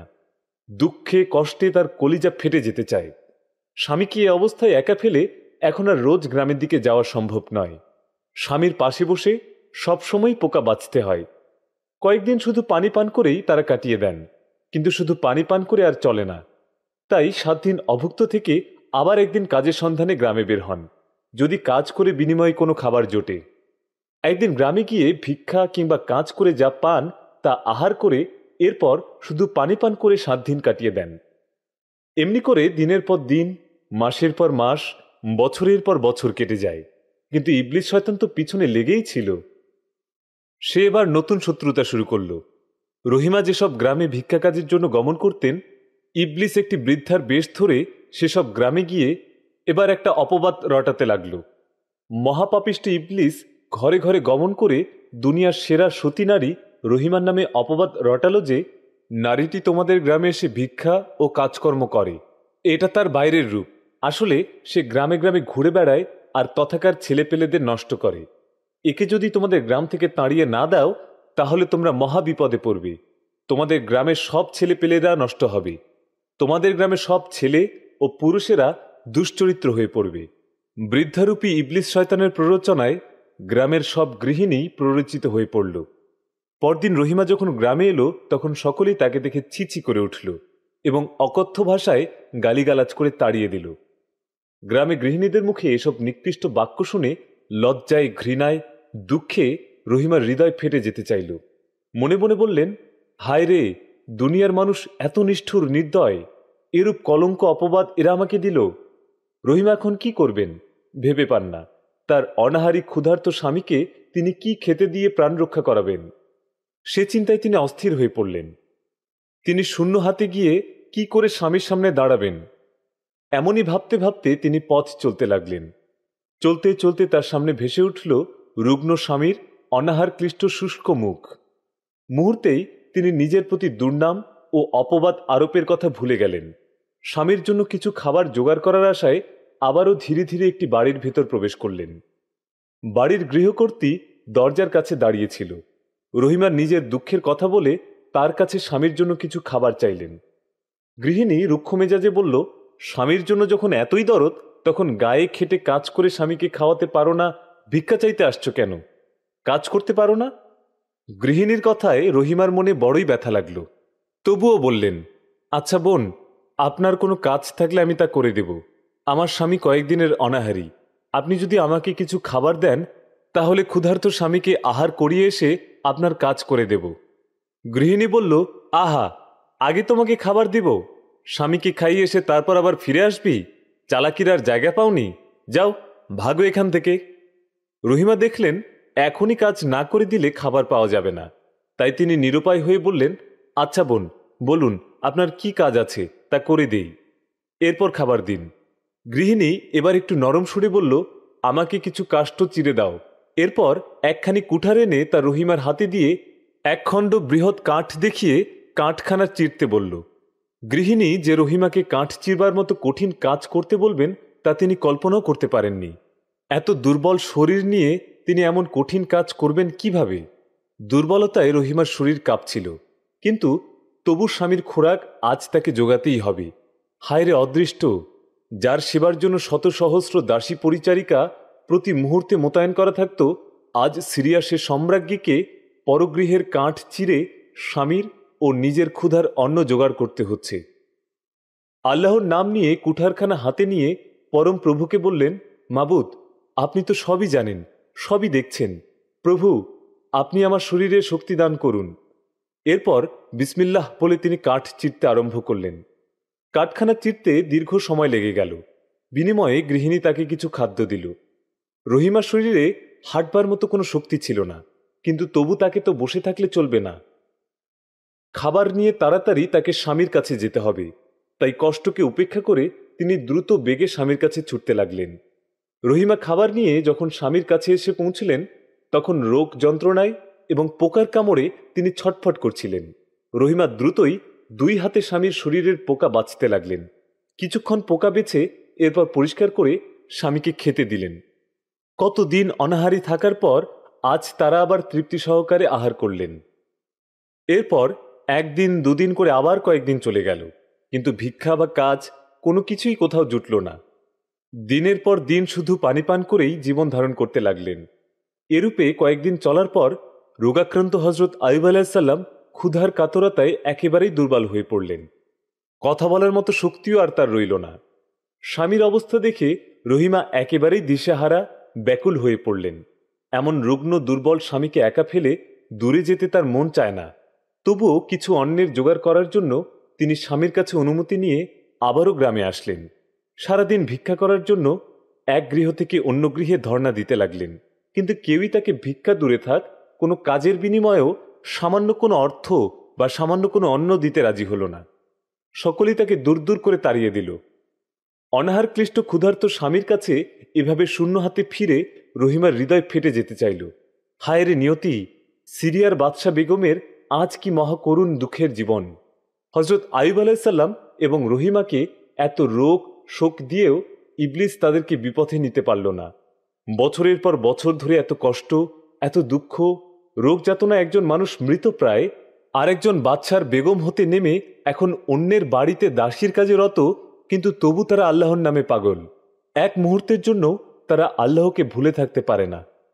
অন্তর মাঝে সদা সর্বদা আল্লাহর নাম স্মরণ করেন। অনাহার ক্লান্ত শরীর, তবু সারা রাত অনিদ্রায় কাটিয়ে আল্লাহর ইবাদতে মশগুল থাকেন। এতদিন চেষ্টা করেও কিছু করতে না পেরে ইবলিস খুবই নিরাশ হয়ে পড়ল। অনেক ভেবেচিন্তে ইবলিস আবার এক নতুন বুদ্ধি ঠিক করল যে, যদি কোনো কৌশলে হজরত আয়ুবের রক্ত মাংসের সাথে অপবিত্র কিছু মিশিয়ে দিয়ে তার মনের জোর নষ্ট করা যায়, তবেই তাকে আয়ত্তে আনা সহজ হবে। এরপর রহিমা যখন গ্রাম থেকে পাহাড়ের নির্জন পথ ধরে স্বামীর কাছে ফিরেছেন, তখন ইবলিস শয়তান তার পরিকল্পনা মতো একজন লোকের বেশ ধারণ করে রহিমার সামনে উপস্থিত হয়ে বলল মাগো, এ নির্জন পাহাড়ি পথে তুমি একলা কোথায় থেকে এসেছ? কোথায় বা যাচ্ছ? মাগো, তোমার মুখ এত মলিন কেন? রহিমা ইবলিসকে চিনতে না পেরে এবং তাকে একজন ভালো লোক মনে করে নিজের দুঃখের কথা খুলে বলতে লাগলেন। রহিমার দুঃখের কথা শুনে মানুষরূপী ইবলিস বলল, তাই তো মাগো, যা ভেবেছিলাম, তোমার কোনো কঠিন বিপদ?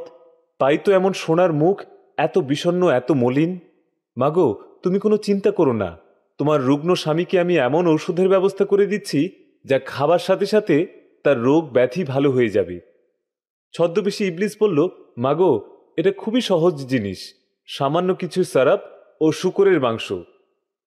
ওষুধের নাম শুনে রহিমা চমকে উঠলেন।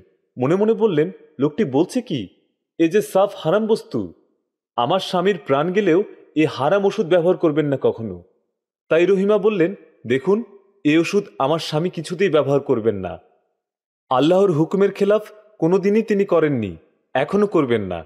মানুষরূপী ইবলিস বলল, দেখো মা, তোমার চেয়ে আমার বয়স অনেক বেশি, তোমার চেয়ে বহুদিন পূর্বে আমি এ পৃথিবীতে এসেছি আল্লাহকে অনেক ডেকেছি। আল্লাহর আদেশ তামিল করাও খুবই ভালো বুঝি। শোনো, মানুষ যখন রোগাক্রান্ত হয়ে মৃত্যুর মুখোমুখি হয়, তখন তার প্রাণ রক্ষার জন্য কোনো ওষুধ ব্যবহার করাই নিষিদ্ধ নয়। আমি যা বলি তা শোনো। তুমি আমার কথা মতো কিছু গোস্ত খাইয়ে দাও এবং শরাবটুকু দেহের ক্ষতে মালিশ করে দাও। দেখবে তোমার স্বামী তাহলে আরোগ্য লাভ করবেন। মানুষরূপী ইবলিসের কথা শুনে রহিমা কি করবেন তা ভাবতে লাগলেন। স্বামীকে আবার রোগমুক্ত, সুস্থ, সবল দেখবেন, এটাই তার প্রাণের কামনা। তাই ভাবনা চিন্তা করে বললেন, আপনি একটু অপেক্ষা করুন, আমি দৌড়ে গিয়ে স্বামীর কাছে জিজ্ঞাসা করে আসি। স্বামী যদি রাজি থাকেন তবে আবার এসে আপনার কাছ থেকে ওষুধ নিয়ে যাব। মানুষের ছদ্মবেশে ইবলিস অপেক্ষা করতে রাজি হয়ে বলল আচ্ছা তাই করো, আমি অপেক্ষা করছি। রহিমা দ্রুতগতিতে দৌড়ে গিয়ে স্বামীর কাছে এসে অত্যন্ত আগ্রহ ভরে এ লোকের ওষুধের কথা ব্যক্ত করলেন। রহিমার কথা শুনে হজরত আয়ুব আলাহিসাল্লামের চোখের দৃষ্টি তীক্ষ্ণ হয়ে উঠল। তিনি বললেন, কি বললে রহিমা? হারাম বস্তুর সাহায্যে আমি আরোগ্য লাভ করব? এ কথা তোমাকে কে বলেছে? তাকে তুমি চিনতে পারোনি। সে নিশ্চয়ই অভিশপ্ত ইবলিস শয়তান। ইবলিস আমাদের পরম শত্রু। সে আমাদের ইমান আমল নষ্ট করার জন্যই জাল পেতেছে। স্বামীর কথা শুনে রহিমা তার ভুলের জন্য লজ্জিত হয়ে স্বামীর কাছে ক্ষমা ভিক্ষা করলেন। এবারও ব্যর্থ হয়ে ইবলিস শয়তান ভাবতে লাগল, আসলে তারই ভুল হয়েছে। দীর্ঘদিন পর্যন্ত রহিমাকে চিনেও তার হুশ হলো না। রহিমার মতো মেয়ের কাছে কেন সারাপ আর শুকুরের মাংসের নাম বলল? সত্য কথা না বললে বস্তু দুটির নাম অন্য কিছুও বলতে পারত। লোকে বলে, মানুষের ভুল আছে, শয়তানের ভুল হয় না। কিন্তু দেখা গেল, শয়তানেরও ভুল হয়। দিনের পর দিন, মাসের পর মাস এবং বছরের পর বছর এমনি করে চলে গিয়েছে। কিন্তু হজরত আয়ুব আলাহিসাল্লামের রোগ যন্ত্রণা না কমে বরং ক্রমশই বৃদ্ধি পেতে লাগল। কয়েকদিন পর্যন্ত তার অবস্থা এমনই হয়েছে যে, এখন আর তার খাওয়া দাওয়ার প্রতি খেয়াল নেই। দিবানিশি শুধু যন্ত্রণায় ছটফট করেন আর অন্তর মাঝে শুধু পরম প্রভু মাবুদের কথা স্মরণ করেন। স্বামীর অবস্থা এখন এমনই হয়েছে যে, রহিমার পক্ষে এ সময় স্বামীকে একা ফেলে রেখে দূরে কোথাও যাওয়া সম্ভব নয়। নিজের ক্ষুধা তৃষ্টার কথা ভুলে সারা দিন রাত শুধু স্বামীর খিদমত করেন, স্বামীর দেহের পোকা বেছে দেন। আর আল্লাহর কাছে স্বামীর রোগ মুক্তি কামনা করেন। কয়েকদিন পর হজরত আয়ুব আলাহিসাল্লামের দেহের তীব্র যন্ত্রণা একটু কমে এলো। তিনি রহিমাকে বললেন, রহিমা, আমাকে উঠিয়ে হাত মুখ ধুয়ে দাও। রহিমা অতি যত্নে স্বামীকে ধরে ওঠালেন। স্বামী রহিমার কেশরাশি ধরে উঠে বসলেন। এরপর হজরত রহিমা পানি এনে স্বামীর বদনমণ্ডল এবং হাত পাও ধুয়ে দিলেন। এরপর তার লম্বা কেশরাশি দ্বারা স্বামীর পা, হাত মুছে দিলেন। হজরত রহিমা সর্বদাই তার কেশ দ্বারা হাত পা মুছিয়ে দিতেন। তাছাড়া হজরত আয়ুব আলাহিসাল্লাম যখন শয্যা থেকে উঠে বসেন, তখন রহিমার কেশ ধরেই উঠে বসেন। হজরত রহিমা স্বামীকে আজ কয়েকদিনের তুলনায় একটু ভালো দেখে বললেন, স্বামী, রোগ যন্ত্রণায় আপনি এত কষ্ট পাচ্ছেন। তবু একবারও প্রিয় মাবুদের কাছে আপনার রোগের মুক্তি কামনা করছেন না কেন? হজরত আয়ুব আলাহিসাল্লাম বললেন, রহিমা, আমার বয়স এখন একশত বছর। তন্মধ্যে বিরাশি বছর আল্লাহ আমাকে পরম সুখ শান্তিতে রেখেছিলেন। আর মাত্র আঠারো বছর একটু কষ্টে রেখেছেন। তার কাছে আবার শান্তি কামনা করব? তা যে বড়ই লজ্জার কথা। রহিমা, প্রভু যা করেন, তাতেই আমি খুশি, তাতেই আমি সন্তুষ্ট। আজ কয়েকদিন পর্যন্ত স্বামী অনাহারী রয়েছেন। স্বামীকে এখন খাবার দেয়া খুবই প্রয়োজন। কিন্তু গ্রামে না গিয়ে তিনি খাদ্য সংগ্রহই বা করবেন কি করে? তাই তিনি স্বামীর কাছে অনুমতি নিয়ে আজ আবার গ্রামের দিকে যাত্রা করলেন। গ্রামে এসে তিনি কাজের সন্ধানে এক বাড়ি থেকে আরেক বাড়িতে এমনি করে ঘরে ঘরে ধর্ণা দিতে লাগলেন। কিন্তু গ্রামের কোনো ঘরেই তার কোনো কাজ বা এতটুকু খাবারও জুটল না। আসলে ইবলিস গ্রামের মানুষের মনকে এমনভাবে প্ররোচিত করে ফেলেছিল যে, তারা রহিমাকে দিয়ে কোনো কাজ করাতেও সম্মত হলো না। গ্রামের সব ঘর থেকেই তাকে নিরাশ হয়ে ফিরতে হলো। শুধু একখানা ঘর তখনও বাকি ছিল। রহিমা যখন এই শেষ ঘরখানার দিকে অগ্রসর হচ্ছিলেন, তখন ইবলিস এক ভণ্ড ধার্মিকের বেশ ধরে গৃহকর্ত্রীর কাছে গিয়ে বলল, তোমার ঘরে একজন রমণী কাজের খোঁজে এসেছে। রমণীটি খুবই অভাবগ্রস্ত। এবং বিপদাপন্ন। লোকের বাড়ি কাজ করে অন্য সংস্থান করে। স্ত্রীলোকটির আজানুলম্বিত ঘনকৃষ্ণ বর্ণকেশ যে কোনো নারীর ঈর্ষার বস্তু। যদি তুমি অন্যের বদলে তার কেশ কেটে রাখতে পারো এবং সে কেশ আমার কাছে দাও, সে চুলের সাহায্যে তদবির করে মাত্র কয়েকদিনের ভিতর তোমার কেশও অবিকল ঐরূপ করে দিতে পারব আমি। এই রমণীটি দেহের সৌন্দর্যে ও লাবণ্যে দেশের অদ্বিতীয় সুন্দরী ছিলেন। কিন্তু তার মাথার চুল ছিল খুবই পাতলা এবং খাটো, তাই চুলকে লম্বা এবং দীর্ঘ করার জন্য চেষ্টার কোনো ত্রুটি ছিল না। ইবলিস তার সেই মনের ইচ্ছা জেনেই তাকে এরূপ পরামর্শ দিয়ে গেল। রহিমা সে গৃহের সামনে উপস্থিত হয়ে উন্মুক্ত জানালার ফাঁক দিয়ে দেখলেন এক সুন্দরী গৃহকর্ত্রী পালঙ্কের উপরে বসে আছেন। গৃহকর্ত্রীকে দেখে রহিমা বললেন, বোন, আপনার যদি কোনো কাজ থাকে বলুন, আমি করে দেই। বিনিময়ে আমাকে যা কিছু খাবার দেয়া হবে আমি তা গ্রহণ করব। আমি খুবই বিপদাপন্ন। আমার স্বামী কয়েকদিনের অনাহারী। অনুগ্রহ করে আমাকে দিয়ে কোনো কাজ করিয়ে আমাকে কিছু খাবার দিন। গৃহিণী বলল, তোমার কষ্টের কথা শুনে খুবই দুঃখ লাগছে। তোমার মতো সুন্দরী রমণীর এমন দুর্ভাগ্য। সবই অদৃষ্ট। তোমাকে দিয়ে কাজ করার মতো কোনো কাজ আমার নেই। তোমাকে কাজ করতে হবে না। তবে এক শর্তে তোমাকে আমি সাহায্য করতে পারি। শর্তটি হলো এটাই যে তোমার মাথার আজনুলম্বিত কেশ আমার মনকে আকৃষ্ট করেছে। যদি তোমার এ কেশ কেটে আমাকে দিতে পারো, তবে তোমাকে আমি বেশ কিছু উত্তম খাদ্য প্রদান করব। আমার খুব ইচ্ছা, তোমার চুল নিয়ে মাথায় খোপা বাঁধি। গৃহিণীর কথা শুনে রহিমা চমকে উঠলেন। তিনি বললেন, বোন, এ আপনি কি বলছেন? মাথার চুল আমি স্বামীর অনুমতি ছাড়া কেমন করে কেটে দেব? তাছাড়া এই চুলগুলো আমার বড়ই প্রয়োজন। আমার ব্যাধিগ্রস্ত স্বামী উত্থান শক্তি রহিত। তিনি আমার মাথার চুলকে অবলম্বন করেই শয্যা থেকে ওঠা বসা করেন। এ চুল দ্বারা আমি তার হাত পা মুছে দেই। যখন তাকে স্কন্ধে নিয়ে এক স্থান থেকে অন্য স্থানে যেতে হয়, তখন তিনি আমার চুলের গুচ্ছ ধরে থাকেন। বোন, দুরারোগ্য ব্যাধি নিয়েও আমার স্বামী কখনো আল্লাহর ইবাদত করতে ভুল করেন না। আমার মাথার চুল কেটে নিলে স্বামী নিশ্চয়ই আমাকে অবিশ্বাস করবেন। স্বামীর বিশ্বাস হারালে আমার আর বেঁচে থেকে কি লাভ হবে? বোন, আমাকে কোনো কাজ দিন। কিংবা আমার দেহ থেকে কিছু মাংস কেটে নিন, কিন্তু এ কঠিন শর্ত থেকে আমাকে রেহাই দান করে কিছু খাবার দিন। এসব কাতরতায় গৃহিণীর মন নরম হলো না। সে দৃঢ়ভাবে বলল, মাথার চুল দেয়া না পর্যন্ত তুমি আমার কাছে সাহায্যের আশাও করো না। হয় মাথার চুল দিয়ে সাহায্য গ্রহণ করো, নতুবা এখনই এ স্থান ত্যাগ করো। রহিমা দেখলেন, মাথার কেশ না দিলে খাবার পাওয়া যাবে না। তাই নিরুপায় হয়ে বললেন, বোন, নিন, তবে চুল কেটে নিন। গৃহিণী একখানা কাঁচি এনে নিজের হাতে রহিমার মাথার চুল কেটে নিল। এরপর সে রহিমার হাতে কিছু খাবার দিল। খাবার নিয়ে মুন্ডিত মস্তকে রহিমা স্বামীর কাছে রওনা করলেন। রহিমা যখন খাদ্য দ্রব্যাদি নিয়ে স্বামীর কাছে ফিরছিলেন, ইবলিস তখন আর এক মুহূর্ত বিলম্ব না করে দ্রুত গৃহিণীর কাছে উপস্থিত হয়ে কেশ রাশি নিয়ে অদৃশ্য হয়ে গেল। এরপর রহিমার নামে মিথ্যা দুর্নাম ও অপবাদ দিয়ে স্বামীর মনকে বিষিয়ে দিয়ে স্বামীর কাছ থেকে রহিমাকে দূরে সরিয়ে দেওয়ার দুরভিসন্ধি করে ছদ্মবেশ ধারণ করে হজরত আয়ুব আলাহিসাল্লামের কাছে উপস্থিত হল। এরপর ইবলিস হজরত আয়ুব আলাহিসাল্লামকে বলল, হে নবী, আপনাকে বড়ই একটা কেলেঙ্কারির কথা বলতে এসেছি। আপনি আল্লাহর নবী হয়েও আপনার এমন দুর্ভাগ্য। আপনি তো রোগাক্রান্ত হয়ে পড়েছেন, কোনো কিছুর খোঁজ খবর রাখতে পারছেন না। কিন্তু আপনার স্ত্রী রহিমা যে নিজের সর্বনাশ করল, আপনাকেও কলঙ্কের সাগরে ডুবিয়ে মারল আপনার স্ত্রী রহিমা অন্যের ঘরে চুরি করতে গিয়ে ধরা পড়েছে। হজরত আয়ুব আলাহিসাল্লাম বললেন, এটা অসম্ভব কথা। এটা আমি বিশ্বাস করি না। এ কথা সম্পূর্ণ মিথ্যা। এটা কখনোই হতে পারে না।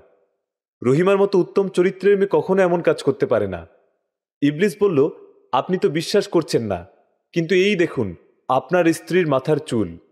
আপনার স্ত্রী গৃহস্থের ঘরে চুরি করতে গিয়ে ধরা পড়ায় লোকগণ শাস্তিস্বরূপ আপনার স্ত্রীর মস্তক মুন্ডন করে তবেই ছেড়ে দিয়েছে।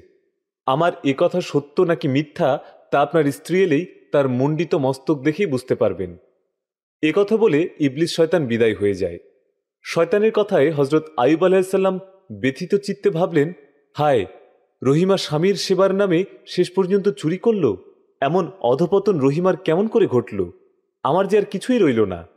ঠিক এমনই সময়ে খাদ্য সম্ভার নিয়ে রহিমা স্বামীর কাছে উপস্থিত হলেন। কিন্তু রহিমার মণ্ডিত মাথার দিকে চেয়ে নবীর চোখ দিয়ে অশ্রুর ধারা নামল। তিনি অপেক্ষাকৃত উচ্চকণ্ঠে বললেন, রহিমা, তুমি আমাকে স্পর্শ করো না, দূরে থাকো।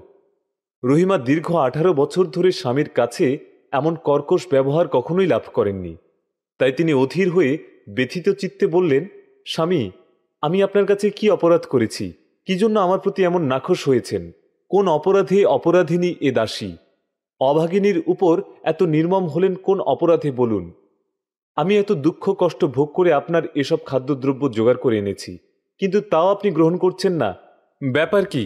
বলুন, আমি অপরাধ করে থাকলে আমার মার্জনা করুন।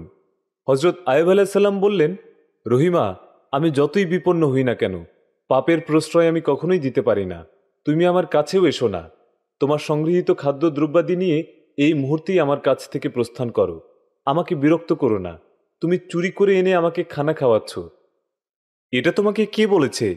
এত বড় অধপতন তোমার কি করে হলো? তুমি কি অপরাধ করেছ, তা বুঝতে পারছ না? কিন্তু তুমি যে চুরি করতে গিয়ে ধরা পড়েছ এবং শাস্তিস্বরূপ তোমার চুল কেটে রাখা হয়েছে, সে প্রমাণ তো তোমার মস্তকেই বিদ্যমান। রহিমা, তুমি নিজে পাপ করলে আমাকেও কলঙ্কিত করলে। এ পাপের জন্য তোমাকে কঠোর শাস্তি ভোগ করতেই হবে। স্বামীর কথা শুনে রহিমা স্তম্ভিত হয়ে গেলেন। তিনি বুঝতেই পারছেন না কে এসে তার স্বামীর কাছে এভাবে তার নামে মিথ্যা অপবাদ দিয়ে গেল। তিনি স্বামীর কাছে সত্য ঘটনাটি খুলে বললেন, কিন্তু স্বামী তার কথা বিশ্বাসই করলেন না। রহিমা স্বামীর এরূপ নিষ্ঠুর আচরণে বিস্মিত হয়ে গেলেন। স্বামীর নির্মম কঠোর কথার আঘাতে রহিমার কোমল হৃদয় চূর্ণ বিচূর্ণ হয়ে গেল। তিনি কাঁদতে আরম্ভ করলেন। চোখের পানিতে তার বুক ভেসে গেল। তিনি সারা রাত শুধু কেঁদে কাটালেন। আর আল্লাহর কাছে মোনাজাত করে বলতে লাগলেন হে দয়াময় প্রভু, আপনি অন্তর্জামী আপনি সবকিছুই দেখেন সব কিছুই জানেন। মাবুদ, যে স্বামীর পদতলে এ দেহমনকে সম্পূর্ণরূপে সমর্পণ করেছি, যে স্বামীর এতটুকু শান্তির জন্য নিজের জীবনকে বিসর্জন দিতে পারি, তার অন্তরে কি করে এমন মিথ্যা ভ্রান্ত ধারণা সৃষ্টি হল? কে আমার নামে মিথ্যা দুর্নাম রটনা করল? প্রভু, আপনি তো জানেন। আপনি আমাকে এই বিপদ থেকে রক্ষা করুন। আপনি আমার স্বামীকে সত্য ঘটনা জানিয়ে দিন। প্রভু আমার স্বামী যদি আমাকে অবিশ্বাস করেন, তবে আমার জীবন ধারণ করে কি লাভ হবে? তার চেয়ে মৃত্যুও অনেক ভালো। মাবুদ, আমার স্বামী যদি আমাকে বিশ্বাস না করে, তবে এ পৃথিবী থেকে আপনি আমাকে আপনার কাছে তুলে নিন। আর এদিকে হজরত আয়ুব আলাহিসাল্লামও অত্যন্ত ব্যথিত হয়ে মনে মনে প্রতিজ্ঞা করেন যে, যদি আল্লাহ আমাকে কোনোদিন রোগমুক্ত করেন, তাহলে আমি রহিমার পিঠে একশত দর্রা মেরে শাস্তি প্রদান করব। এরপর সারা রাত তিনি আল্লাহর ইবাদতে কাটিয়ে দিলেন। ভোরবেলা তিনি দেখলেন তার ক্ষতস্থান থেকে দুটি কীট ঝরে পড়ছে। নবী তখন হাত দিয়ে কীটদ্বয়কে উঠিয়ে আবার তার শরীরে স্থাপন করে বললেন, আল্লাহ, তোমাদেরকে আমার শরীরে আহার দিয়েছেন, তোমরা চলে যাচ্ছ কেন? এবার কীটদ্বয় তার দেহের ভিতরে ঢুকে খুব জোরে জোরে কামড়াতে লাগল। পোকার কামড়ে অস্থির হয়ে নবী বললেন, মাবুদ, গত আঠারো বছর পর্যন্ত কীটে আমাকে কামড়িয়েছে, কিন্তু এমন তীব্র যন্ত্রণা কখনো অনুভব করিনি। সারা রাত ধরে রহিমার হৃদয় নিংড়ানো করুণ মিনতি শ্রবণ করে আল্লাহ পাকের আড়স পর্যন্ত কেঁপে উঠল। আল্লাহ তার প্রিয় দাসীর এ করুণ কান্নার সহ্য করতে পারলেন না। আল্লাহ পাক জিব্রাইল ফেরেস্তাকে ডেকে বললেন, জিব্রাইল, তুমি এখনই দুনিয়াতে গিয়ে আমার প্রিয় দোস্ত আয়ুব নবীর ভুল সংশোধন করে এসো। আল্লাহ রব্বুল আলমিনের আদেশের সাথে সাথে ফেরেস্তা জিব্রাইল আলাহিসাল্লাম হজরত আয়ুব আলাহিসাল্লামের কাছে আগমন করে বললেন, হে আল্লাহর নবী আপনি দুনিয়ার সর্বশ্রেষ্ঠা, নির্মল, পবিত্র চরিত্রের রমণী রহিমাকে অযথা দোষারোপ করে তার হৃদয়ে আঘাত দিয়েছেন। যে আপনার কাছে এসে রহিমার নামে মিথ্যা দুর্নাম রটিয়ে গিয়েছে, সে মহাপাপী, অভিশপ্ত ইবলিস। আপনার কাছে রহিমা যা বলেছে তাই সত্য। এ কথা বলে জিব্রাইল আলাহিসাল্লাম চলে গেলেন। জিব্রাইল আলাহিসাল্লামের কাছে সত্য কথা জানতে পেরে হজরত আয়ুব আলাহিসাল্লামের অন্তর থেকে সকল বেদনা দূর হয়ে আনন্দে পুলকিত হয়ে উঠল। তিনি রহিমাকে ডেকে বললেন, রহিমা, আমি না বুঝি তোমার মনে কষ্ট দিয়েছি। অভিশপ্ত ইবলিসই এ কাণ্ড ঘটিয়েছিল। ইবলিস ছদ্মবেশে আমার কাছে এসে মিথ্যা ঘটনা রটনা করেছিল। কিন্তু কিছুক্ষণ পূর্বে আল্লাহপাক জিব্রাইল আলাহিসাল্লামকে পাঠিয়ে আমাকে সত্য ঘটনা জানিয়ে দিয়েছেন। স্বামীর কথা শুনে রহিমার হৃদয় থেকে পাহাড় সমান ব্যথার পাথর নেমে গেল। তিনি পুনরায় স্বামীর খিদমতে নিয়োজিত হলেন। হজরত আয়ুব আলাহিসাল্লাম এবং রহিমার প্রতি আল্লাহর মহা কঠিন পরীক্ষার যখন আঠারো বছর পূর্ণ হল, সবুর ও শকরে নির্ভর করে হজরত আয়ুব আলাহিসাল্লাম আঠারো বছর কাটিয়ে দিলেন। এত কঠিন রোগেও কোনোদিন তিনি আল্লাহকে ভুলেননি। কিন্তু এবার পোকার কামড়ে অধীর হয়ে তিনি আল্লাহর কাছে ফরিয়াদ করলেন, হে মাবুদ, আমি আপনার দরবারে কি গোনাই করেছি বুঝতে পারছি না। হে দয়াময় প্রভু, আপনি ক্ষমাকারী এবং পরম দয়ালু। দয়া করে আমাকে মাফ করে দিন। আল্লাহ পাক তার প্রিয় বান্দা হজরত আয়ুব আলাহিসাল্লামের আরজ কবুল করলেন। হজরত আয়ুব আলাহিসাল্লাম আল্লাহর দরবারে এরূপ প্রার্থনা করার সাথে সাথেই আল্লাহর আদেশে হজরত জিব্রাইল আলাহিসাল্লাম নবীর কাছে আগমন করে বললেন, হে আল্লাহর নবী, আপনি কিসের জন্য এত অস্থির? হজরত আয়ুব আলাহিসাল্লাম বললেন, আমি পোকার কামড়ে ভীষণ যাতনা ভোগ করছি, আর সহ্য করতে পারছি না। গত আঠারো বছর আমি যত কষ্ট পেয়েছি এখন তার দ্বিগুণ অনুভব করছি। জিব্রাইল আলাইসাল্লাম বললেন, আপনি নিজেই তো আপনার এ দুঃখ নিয়েছিলেন। আঠারো বছর যাবৎ এত দুঃখ যাতনা পাওয়া সত্ত্বেও কেন আপনি আবার তা শরীরে ধারণ করলেন? এখন কেন এত অস্থির হলেন? আল্লাহ কারও ইচ্ছার বিরুদ্ধে দুঃখ দিতে চান না। আল্লাহ তালার দরবারে যে যা চাইবে, আল্লাহ তাকে তাই দান করবেন। হে আল্লাহ নবী, আল্লাহর নির্দেশে বলছি, আপনি আপনার রোগ মুক্তির জন্য আল্লাহর দরবারে মুনাজাত করুন। এই বলে হজরত জিব্রাইল আলাইসাল্লাম অদৃশ্য হয়ে গেলেন। হজরত আয়ুব আলাইসাল্লাম জিব্রাইল আলাইসাল্লামের নির্দেশ শুনে করুণভাবে প্রিয় মাবুদের কাছে প্রার্থনা করলেন, হে মাবুদ, হে দয়াময় প্রভু, তুমি তো জানো আমি তোমার দরবারে কি গুণা করেছি, তুমি ব্যতীত তা আর কেউই জানে না। প্রভু, তুমি তোমার বান্দার প্রতি যেমন মেহেরবান, তেমন মেহরবানি করার মতো দুই জাহানে আর কেউই নেই। হজরত আয়ুব আলাইসাল্লাম আল্লাহ দরবারে এ ফরিয়াদ করার সাথে সাথেই আকাশ থেকে অদৃশ্য আওয়াজ এলো। ওহে নবী, আপনি এ সবকে দুঃখ বলে মনে না করে আল্লাহর রহমত বলে মনে করুন। আল্লাহ যাকে আপন বন্ধু বলে মনে করেন, তার প্রতি তিনি এরূপ বিপদ নাজিল করেন। হে নবী, আপনি আল্লাহর এক মহান পরীক্ষায় উত্তীর্ণ হলেন। এর জন্য আপনি নিশ্চয়ই আল্লাহর পুরস্কার পাবেন। পবিত্র আল কুরআনে আছে, আল্লাহ বলেছেন, আমি আয়ুব নবীকে তামিল করেছি ও দুঃখ যাতনা দিয়েছি। কিন্তু যখন হজরত আয়ুব নবী কাতর হয়ে আমার দরবারে ফরিয়াদ করলেন, হে আল্লাহ, তুমি তোমার বান্দার প্রতি যত মেহেরবান, তেমন মেহেরবানি করার মতো দুই জাহানে আর কেউই নেই। নবীর এ কথাগুলোর আওয়াজ যখনই আমি শুনলাম, তখনই আমি তার যাবতীয় দুঃখ দুর্দশা দূর করে দিলাম। এরপর তাকেও রহমত দান করলাম। হজরত আয়ুব আলাইসাল্লামের ধৈর্যের পরীক্ষা হয়ে গেল। আল্লাহ তার প্রার্থনা কবুল করলেন। পুনরায় আল্লাহ পাকের নির্দেশে জিব্রাইল আলাইসাল্লাম নবীর কাছে এসে বললেন ওহে নবী আল্লাহ আপনার প্রতি মেহরবান হয়েছেন। আল্লাহ আপনাকে বলেছেন, আপনি আপনার পদযুগল দ্বারা মৃত্তিকায় আঘাত করুন। দেখবেন, জমিনের নিম্নস্থান হতে অতি পরিষ্কার পানি নির্গত হয়ে আসবে। এ পানি দ্বারা আপনি গোসল ও পান করুন। তবেই দেখবেন, আপনার শরীরের সমুদায় ব্যাধি নিমিষেই নিরাময় হবে। জিব্রাইল আলাইসাল্লাম মারফত হজরত আইব আলাইসাল্লাম আল্লাহ তালার এই আদেশ পেয়ে জমিনে দুই পদ দ্বারা দুবার আঘাত করলেন। আল্লাহর কুদরতে আঘাত করা মাত্রই সাথে সাথেই একটি সামান্য গরম আর একটি শীতল পানির ঝর্ণা সৃষ্টি হয়ে গেল। জিব্রাইল আলাইসাল্লাম নিজ হাতে গরম পানির দ্বারা হজরত আয়ুব আলাইসাল্লামকে গোসল করিয়ে দিলেন এবং শীতল পানির ঝর্ণা থেকে কিছু পানি তুলে পান করালেন। গরম পানি দ্বারা গোসল এবং ঠান্ডা পানি পান করার সাথে সাথেই হজরত আয়ুব আলাইসাল্লামের দীর্ঘ আঠারো বছরের দুরারোগ্য ব্যাধি মহাকঠিন কুষ্ঠরোগ দূর হয়ে গেল। এবং দেহের সৌন্দর্য পূর্বাপেক্ষা দশ গুণ বেড়ে গেল। এই ঘটনা যখন ঘটল, তখন রহিমা স্বামীর কাছে ছিলেন না। তিনি এ সময় খাদ্য সংগ্রহের জন্য গ্রামে গিয়েছিলেন। সেখান থেকে ফিরে স্বামীর সে পূর্বের মতো সুন্দর লাবণ্যময় উজ্জ্বল চেহারা দেখে তিনি নিজের চক্ষুকেই বিশ্বাস করতে পারলেন না। স্বামীর দেহে কোনো রোগ ব্যাধির চিহ্নমাত্র না দেখে তিনি অবাক হয়ে গেলেন। এটা কীভাবে সম্ভব হলো? এটা তিনি ভেবেই পেলেন না। হজরত আয়ুব আলাইসাল্লাম তখন রহিমাকে সমস্ত ঘটনা খুলে বললেন। সব কথা শুনে আনন্দে রহিমার হৃদয় পুলকিত হয়ে উঠল। হজরত আয়ুব আলাইসাল্লাম রহিমাকেও ওই ঝর্ণার উষ্ণ পানিতে গোসল করতে বললেন এবং শীতল পানি পান করতে বললেন।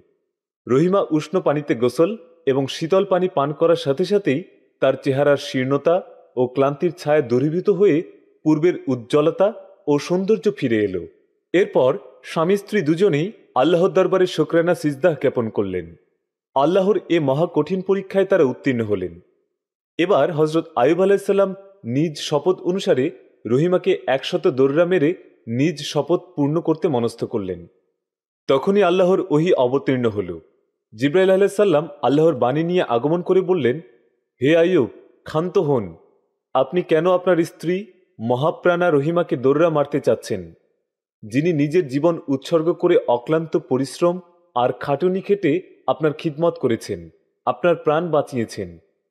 আপনার স্ত্রী রহিমান ন্যায় মহৎ ও পতিপরায়ণার স্বামীভক্তি নারী পৃথিবীতে বিরল। আপনি বৃথাই রহিমাকে অপরাধিনী সাব্যস্ত করেছেন। রহিমা সম্পূর্ণ নির্দোষ। হজরত আইব আলাইসাল্লাম এটা শুনে খুবই লজ্জিত হলেন। তাহলে আমি এখন কি করব? তবে কি আমার শপথ মিথ্যা হয়ে যাবে? জিব্রাইল আল্লাহিসাল্লাম বললেন, না, তা মিথ্যা হয়ে যাবে কেন? আল্লাহর নির্দেশ, আপনি একশত শস্য বীজ একত্রে বেঁধে তা দ্বারা রহিমার অঙ্গে একবার মৃদু স্পর্শ করুন। এতেই আপনার শপথ পালন হয়ে যাবে।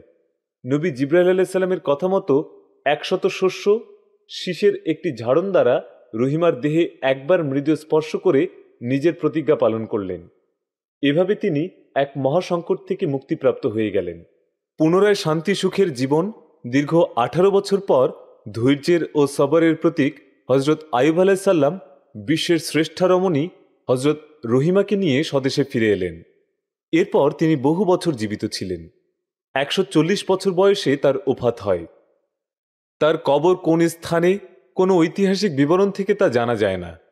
হজরত আয়ুব আলাইসাল্লাম ও হজরত রহিমার জীবন বৃত্তান্ত থেকে এ শিক্ষাই আমরা পাই যে, বিপদে, আপদে সর্বাবস্থায় আল্লাহর শকর গজার করতে হবে।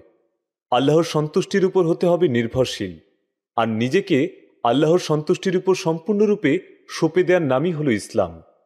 ইসলাম মানুষকে এই শিক্ষা দিয়ে অনুপ্রাণিত করে, ধন্য করে।